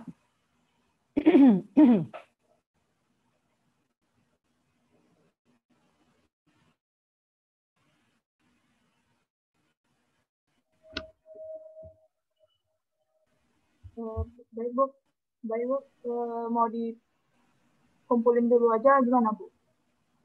Pertanyaannya. Ya, oke, satu lagi dulu coba. Izin bertanya Ibu dan untuk kelompok B, saya Mutia absen 20. Mutia. Iya. Ya, 20 Mutia. Um, tadi kan sudah dijelaskan oleh kelompok B mengenai langkah-langkah menentukan materialitas itu gimana, mulai dari menghitung overall materiality hingga menentukan nilai tolerable error untuk tiap akunnya. Nah, um, yang saya ingin tanyakan ini terkait opini auditor, Bu. Um, sebenarnya dalam menentukan opini, auditor itu baik untuk um, qualified atau unqualified opinion itu sebenarnya yang digunakan uh, ad- yang digunakan itu performance materiality atau overall materiality, materiality ya Bu. Saya sedikit agak bingung di situ Bu. Mungkin nanti bisa dibantu jawab oleh kelompok B. Mungkin itu aja Bu. Terima kasih. Oke. Masih ada lagi pertanyaan? Izin bertanya. Absen satu Imam. Eh, saya mau tanya sih, itu yang tolerable errornya kan misalnya 3%, 4% itu. Jadi kan kalau dia di jumlah totalnya itu sama dengan overall materiality. Bisa tidak sih eh, tolerable errornya itu ditingkatkan begitu? Jadi secara kalau di jumlah dia melebihi overall materiality, tapi kan ada pertimbangan kalau tidak semua akun nanti bakal eh, ada salah sajinya. Pertimbangannya itu siapa tahu dia fokusnya di satu akun saja salah sajinya begitu bu. Ya. Oh, ya. Oke. Ada lagi? Atau tiga dulu ya? Atau ada lagi? Coba. Oke, tiga dulu aja. Silakan A, eh, silakan B untuk menjawabnya.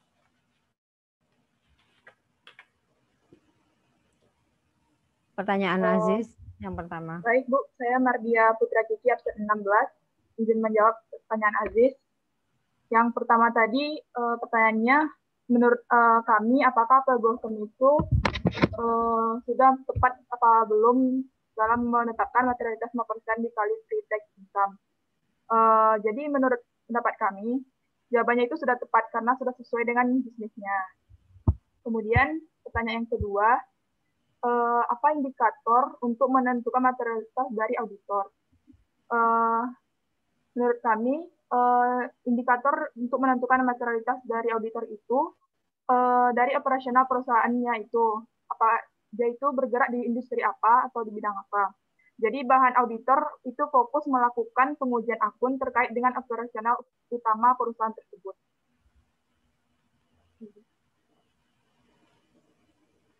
Sudah jawabannya? Eh, izin mengonfirmasi lagi boleh nggak? Boleh dong Ah, diskusi ini kan interaktif.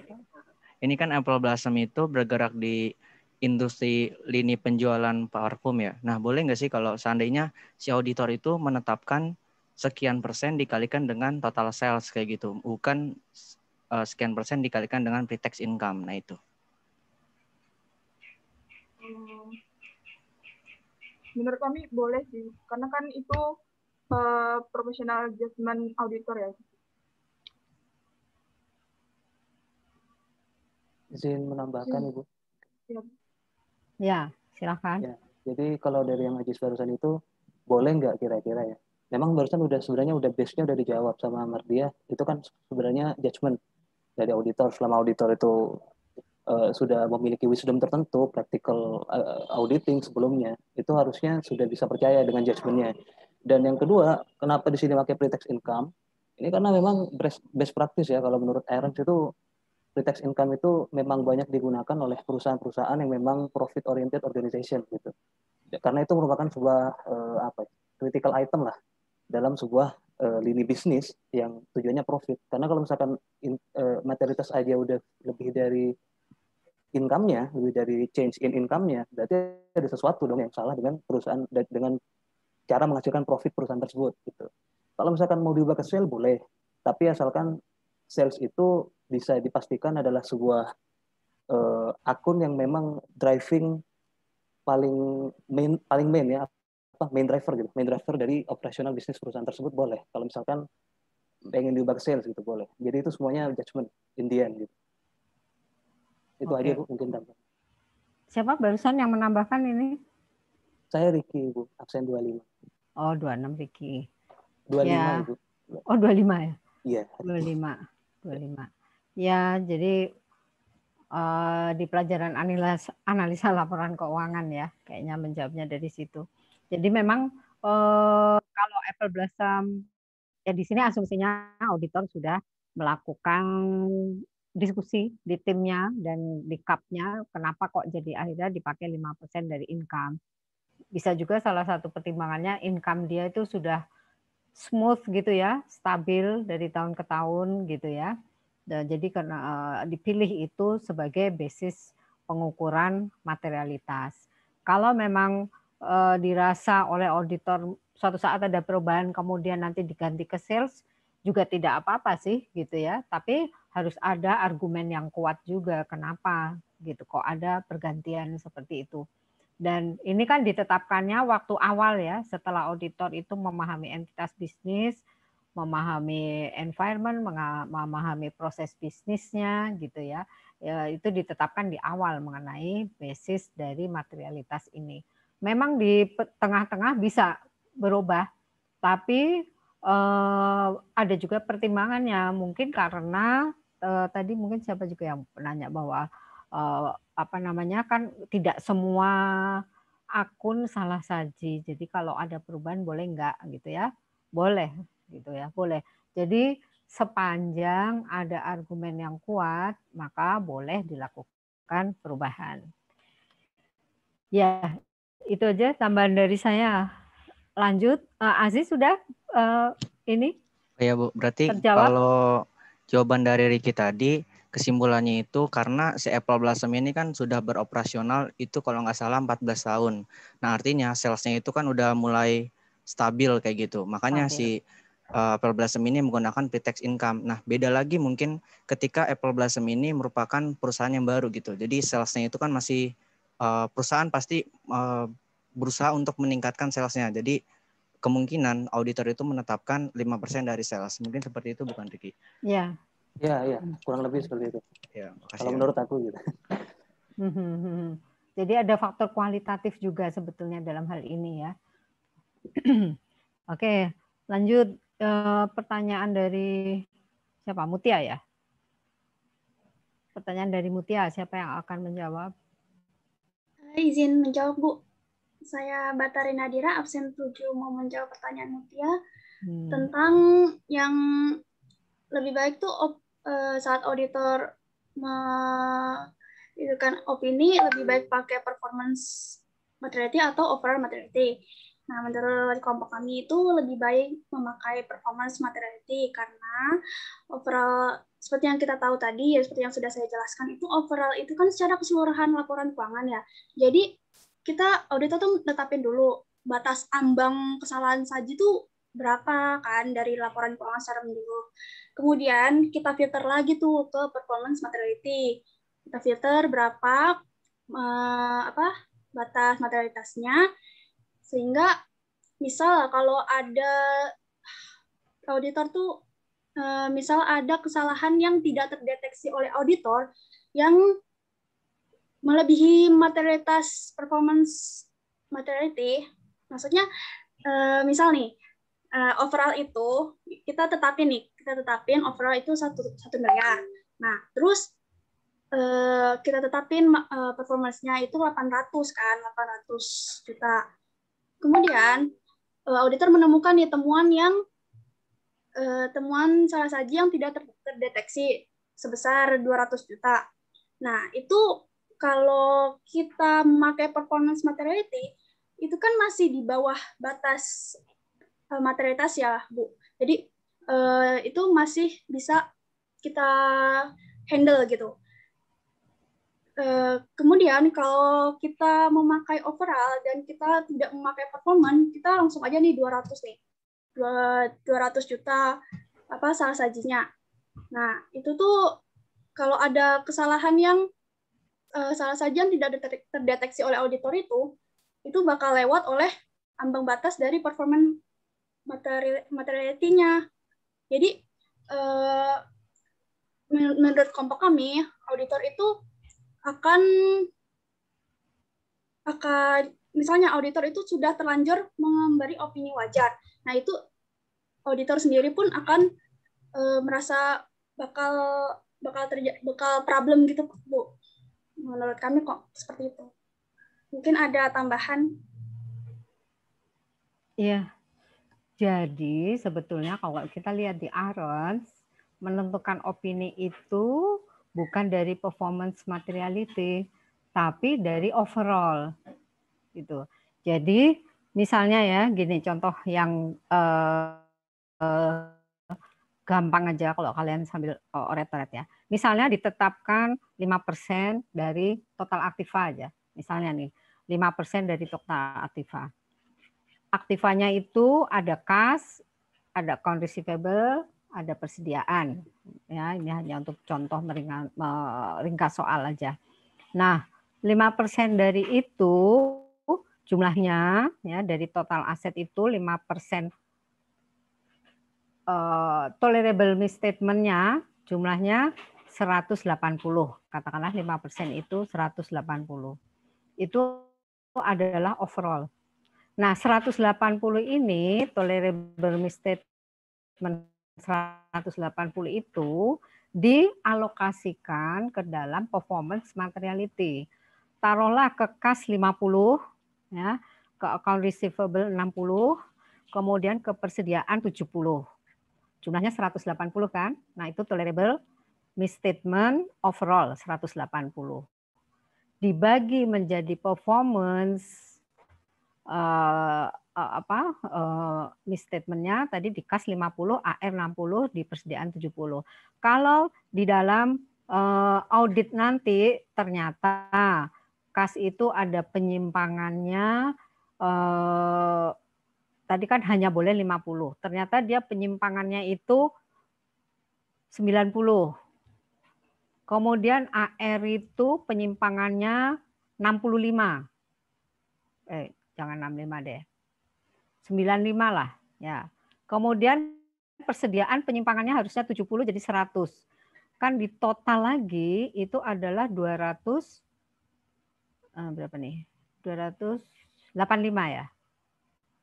Eh 5 19. 285. Ya. Jadi eh, yang berpengaruh kepada opini itu adalah overall misstatement, ya, bukan masing-masing tadi. Jadi dijumlah lagi setelah dilakukan audit, ternyata total misstatementnya itu 285 kan sangat jauh di luar 180. Nah itu menyebabkan opininya tidak bisa unqualified gitu. Jadi yang berpengaruh terhadap opini itu adalah overall atau salah saji gabungan gitu. Jadi tahap pertama ditetapkan dulu 5% dalam hal ini total aset ya, bukan contohnya bukan kayak tadi pre-tax income misalnya gitu. Dari segitu total aset berapa persennya. Kemudian dialokasikan ke pos-pos yang ada di total aset gitu. Nah, alokasi itu ter tentu tergantung kepada professional judgment dari si auditor. Kalau kas ya itu tolerable misstatement-nya kecil aja karena kan kas itu pasti diperiksa semuanya kan. Jadi tolerable-nya kecil aja. Jadi yang 180 tadi kas 50, yang lain 60 70. Nah, maksudnya professional judgment-nya di situ mempertimbangkan risiko inherent yang ada di akun itu gitu ya. Jadi contoh ekstrimnya kas kecil karena pasti harus diperiksa semua kalau kas gitu ya.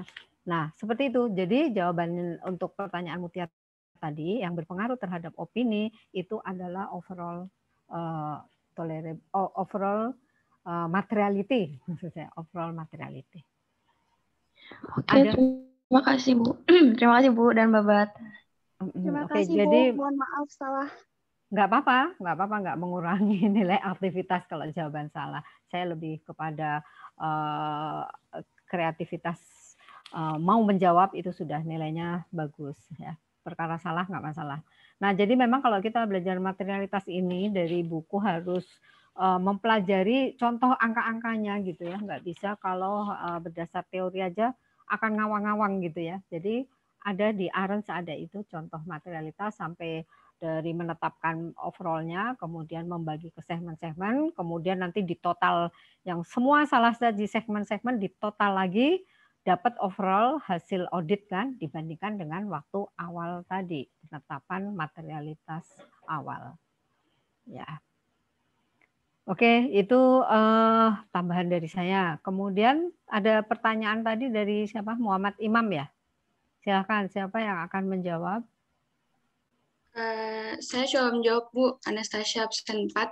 Uh, jadi uh, tadi intinya pertanyaan Imam itu kalau nggak salah itu uh, boleh nggak sih tolerable error itu melebihi overall materiality.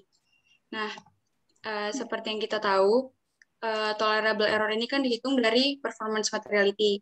Performance materiality, materiality itu itu kisarannya kalau nggak salah itu 60% sampai 80% dari overallnya. Berarti kan otomatis PM sendiri itu sudah pasti lebih kecil daripada overall materiality. Nah, tolerable error itu kita hitung persentasenya itu dari dari PM. Berarti otomatis TE itu pasti harus lebih kecil daripada OM. Jika TE lebih besar daripada overallnya, maka seperti yang uh, Ibu Endang sudah jelaskan tadi, itu berarti uh, akan berpengaruh di opini di opininya. Pasti opininya itu uh, tidak WTP. Kurang lebih seperti itu. Mungkin teman-teman dari kelompok B ada yang mau menambahkan. Mm -hmm. Silahkan, kalau ada yang menambahkan. Uh, mungkin saya sedikit menambahkan Ibu ya. Uh, uh-huh. Siapa? Ricky ya? Ricky, Ricky Bu. 25 tadi. Um, jadi sebenarnya konsepnya ini kan kalau yang di Apple Blossom ini kan dia kan kan tadi Bu Endang juga udah jelasin ya kalau materi itu ini bergantung si auditornya gitu. Dia dia mau pakai metode apa gitu. Di Arens sendiri sebenarnya agak gini metodenya. Kalau kalian baca itu kan di Arens itu ada sebuah tadi kan kata Bu Endang itu ada KP gitu kan ya, CPA gitu, yang mereka ngasih guideline dan itu ada beberapa guideline terkait bagaimana cara menentukan OM. Kalau di sana disebutnya preliminary judgment. Kenapa kok disebut preliminary judgment of materiality? Karena itu planning gitu. Karena ini sifatnya planning. Mm -hmm. Jadi ini adalah judgment auditor sebelum terjadi praktik audit. Gitu. Nanti kalau misalkan udah terjadi praktiknya, ada turun ke lapangan, ada collecting evidence dan lain sebagainya, itu nanti ada namanya revising revising judgment of materiality. Hmm. Itu juga overall gitu.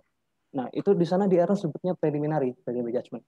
Dan cara menentukannya itu beda. Di sana bilangnya kan sebenarnya konsepnya performance materiality itu kan gini, kalau overall itu kan semua adalah magnitude gitu.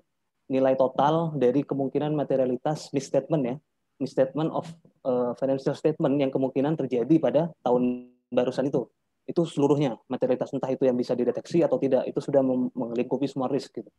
Performance ini konsepnya kalau yang di Arens itu adalah sebuah judgment, judgment auditor yang dia menurunkan sedikit menurunkan sedikit persentase dari materialitas itu. Kalau misalkan tadi contohnya kan ada 60 sampai 80 persen, di ARMS itu 50 sampai 75 persen. Jadi apa fungsinya? Karena ini sifatnya planning, sifatnya planning. Jadi auditor itu ingin sebenarnya laporan ini tidak terlalu mendekati atau bahkan melewati materialitas. Jadi kalau misalkan dibilang tolerable statement yang itu pun adalah alokasi ya, alokasi dari performance materiality kalau di apel blossom ini, itu melebihi overall materiality di tahap planning itu nggak mungkin. Karena memang konsepnya sendiri itu adalah sebuah usaha auditor untuk menurunkan sedikit persentase ya, persentase dari materiality agar tidak bisa melewati.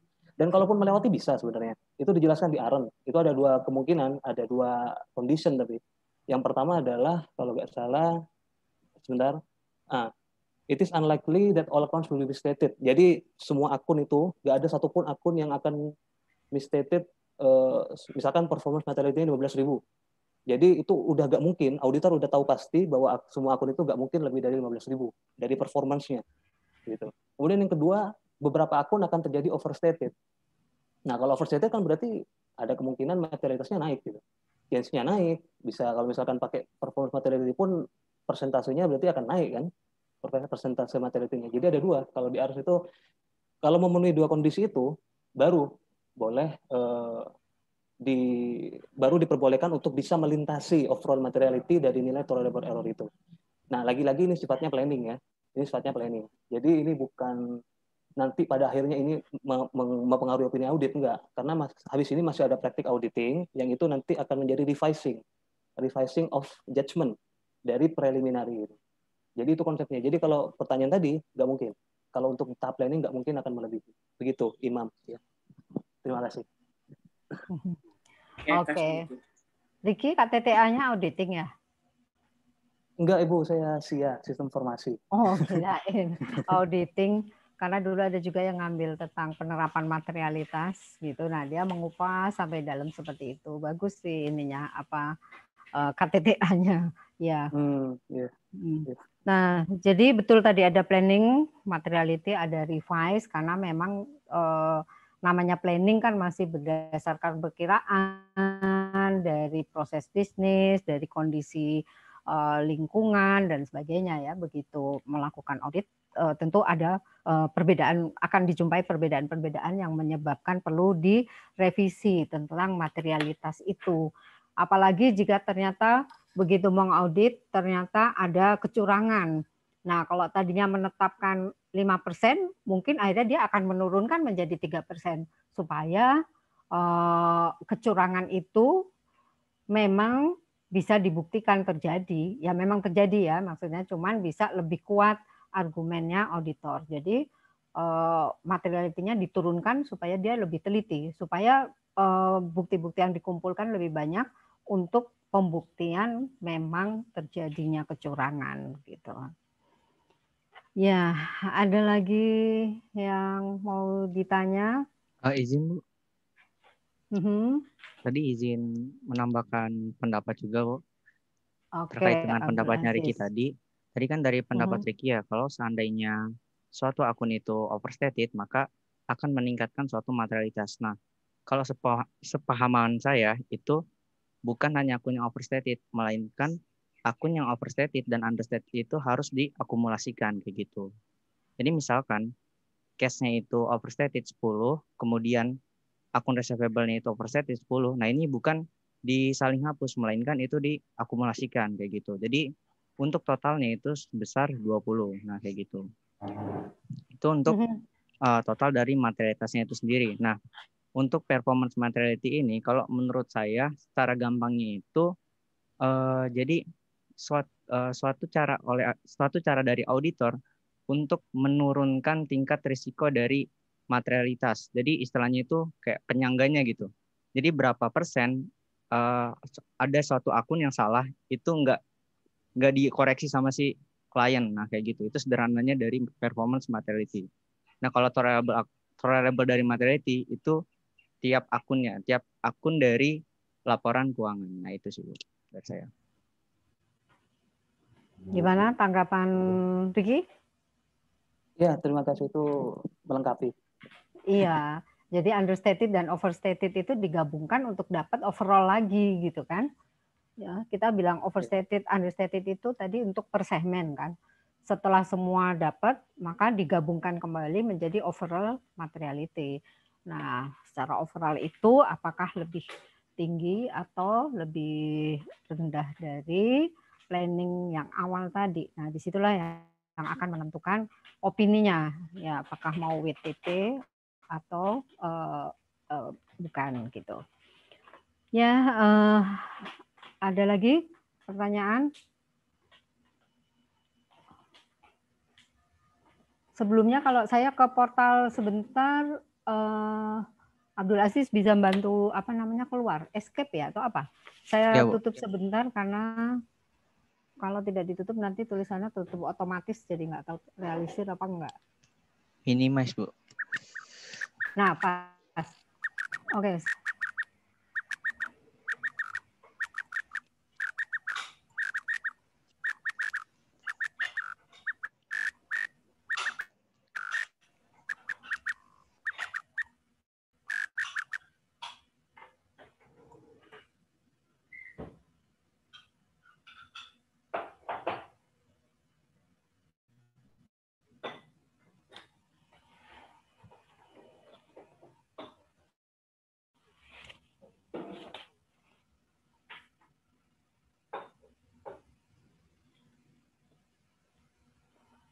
ini kok nutupi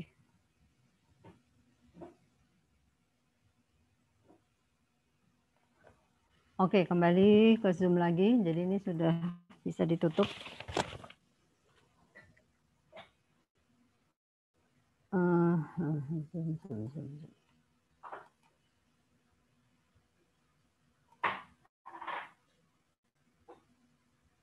Ya, nah masih adakah pertanyaan? Saya Bu izin bertanya. Siapa ini? Silvi absen 29. Oh, 29 Silvi. Ya. Uh, terkait yang tadi Bu, yang apa namanya yang overall materiality itu mempengaruhi opini audit. Hmm. Nah, misal tadi kan udah Ibu kasih contoh. Uh, ada penyimpangan 90 di kas, penyimpangan di hmm. AR-nya 65, penyimpangan di inventorinya 100 Nah, tapi kalau misalnya penyimpangan di kasnya cuma 40, penyimpangan di AR-nya 65, penyimpangan di inventorinya 70, totalnya kan jadi 175, Bu. Itu kan berarti masih di bawah overall materiality. Iya. Masih oh, overall. berarti, ya ya udah berarti itu bisa WDP bisa. ya, Bu? Bisa. Bisa. Oh, walaupun walaupun salah satu akunnya itu udah melampaui materialitas, tapi secara total dia nggak melampaui overall, ya udah tetap bisa. diterima ya, Bu. Iya, karena uh, berapa tadi? 60 terus AR-nya jadi 65 gitu ya. Iya, cuman Masih di AR-nya aja yang melampaui dari performance materialitas. Ya. Tapi secara total dia nggak ngelebihi Iya, iya, masih. Oh, berarti masih bisa diterima ya, Bu? Iya. Masih bawah. Itu masih ya. Oh, kecuali kalau seandainya ada penyimpangan ya, misalnya uh, ada kecurangan, nah itu mungkin nanti akan ada ini lain Tidak lagi gitu ya. Mungkin oh. ada opini terkait kecuali untuk kas mungkin ada karena ada kecurangan nggak bisa ini gitu. Dan kalaupun ada perbedaan ya tapi terus uh, auditi itu mau mengoreksi maka bisa dapat BTP kalau ada koreksi terus koreksi auditor kemudian auditi mau merubah pembukuan sehingga sesuai dengan saran auditor, maka kalau tadinya WDP bisa jadi WTP. Nah, sebaliknya kalau misalnya ada eh, WDP atau adverse terus dia tetap tidak mau ya sudah nggak akan nggak uh, nggak bisa berubah gitu. Oke, okay. uh, eh, ada lagi?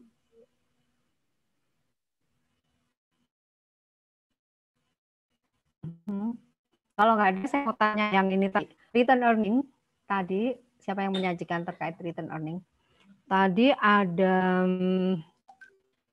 hmm, uh, ada perbedaan sehingga kategorinya itu high. Kenapa? kok di return earning juga dilakukan ada misstatement. Bukankah return earning itu adalah akumulasi dari transaksi pos-pos lainnya? Nah, itu. Return earning 272, per booknya 529. Nah, sepertinya ada perubahan 257 dan persennya 94 dan itu termasuk high gitu. Oh iya. Padahal iya, return earning ini kan asalnya dari transaksi pos-pos lainnya gitu. Ya, um, izin jawab Ibu. Nah, ini ya. Kayaknya sepertinya saya sebenarnya setuju dengan Ibu sih. Mhm. Mungkin saya agak salah, kami agak salah ngerjakan gitu.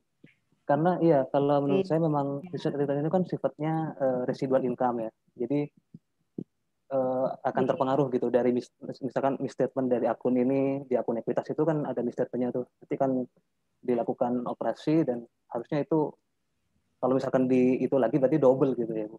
Iya, iya, Iya, mohon maaf Bu. betul. Iya. Seperti misstatement juga kan kalau eh apa namanya materialitas kan pilih aja di dari neraca atau dari rugi laba karena kalau dari dua-duanya nanti bisa overlapping jadinya kan. Iya Gitu, benar benar. Makanya Iya, kebanyakan maaf. dari Iya. pos-pos di neraca. Ya, oke kalau gitu. Ya, masih ada lagi?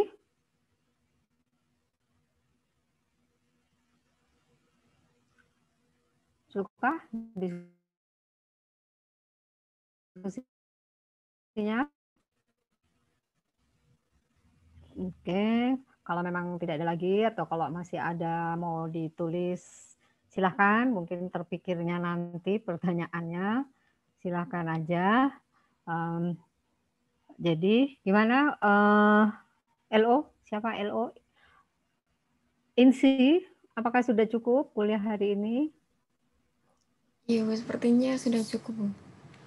Oke, jadi terima kasih walaupun puasa diskusinya sangat hidup. Saya senang sekali, jadi semangat semuanya ya. Eh,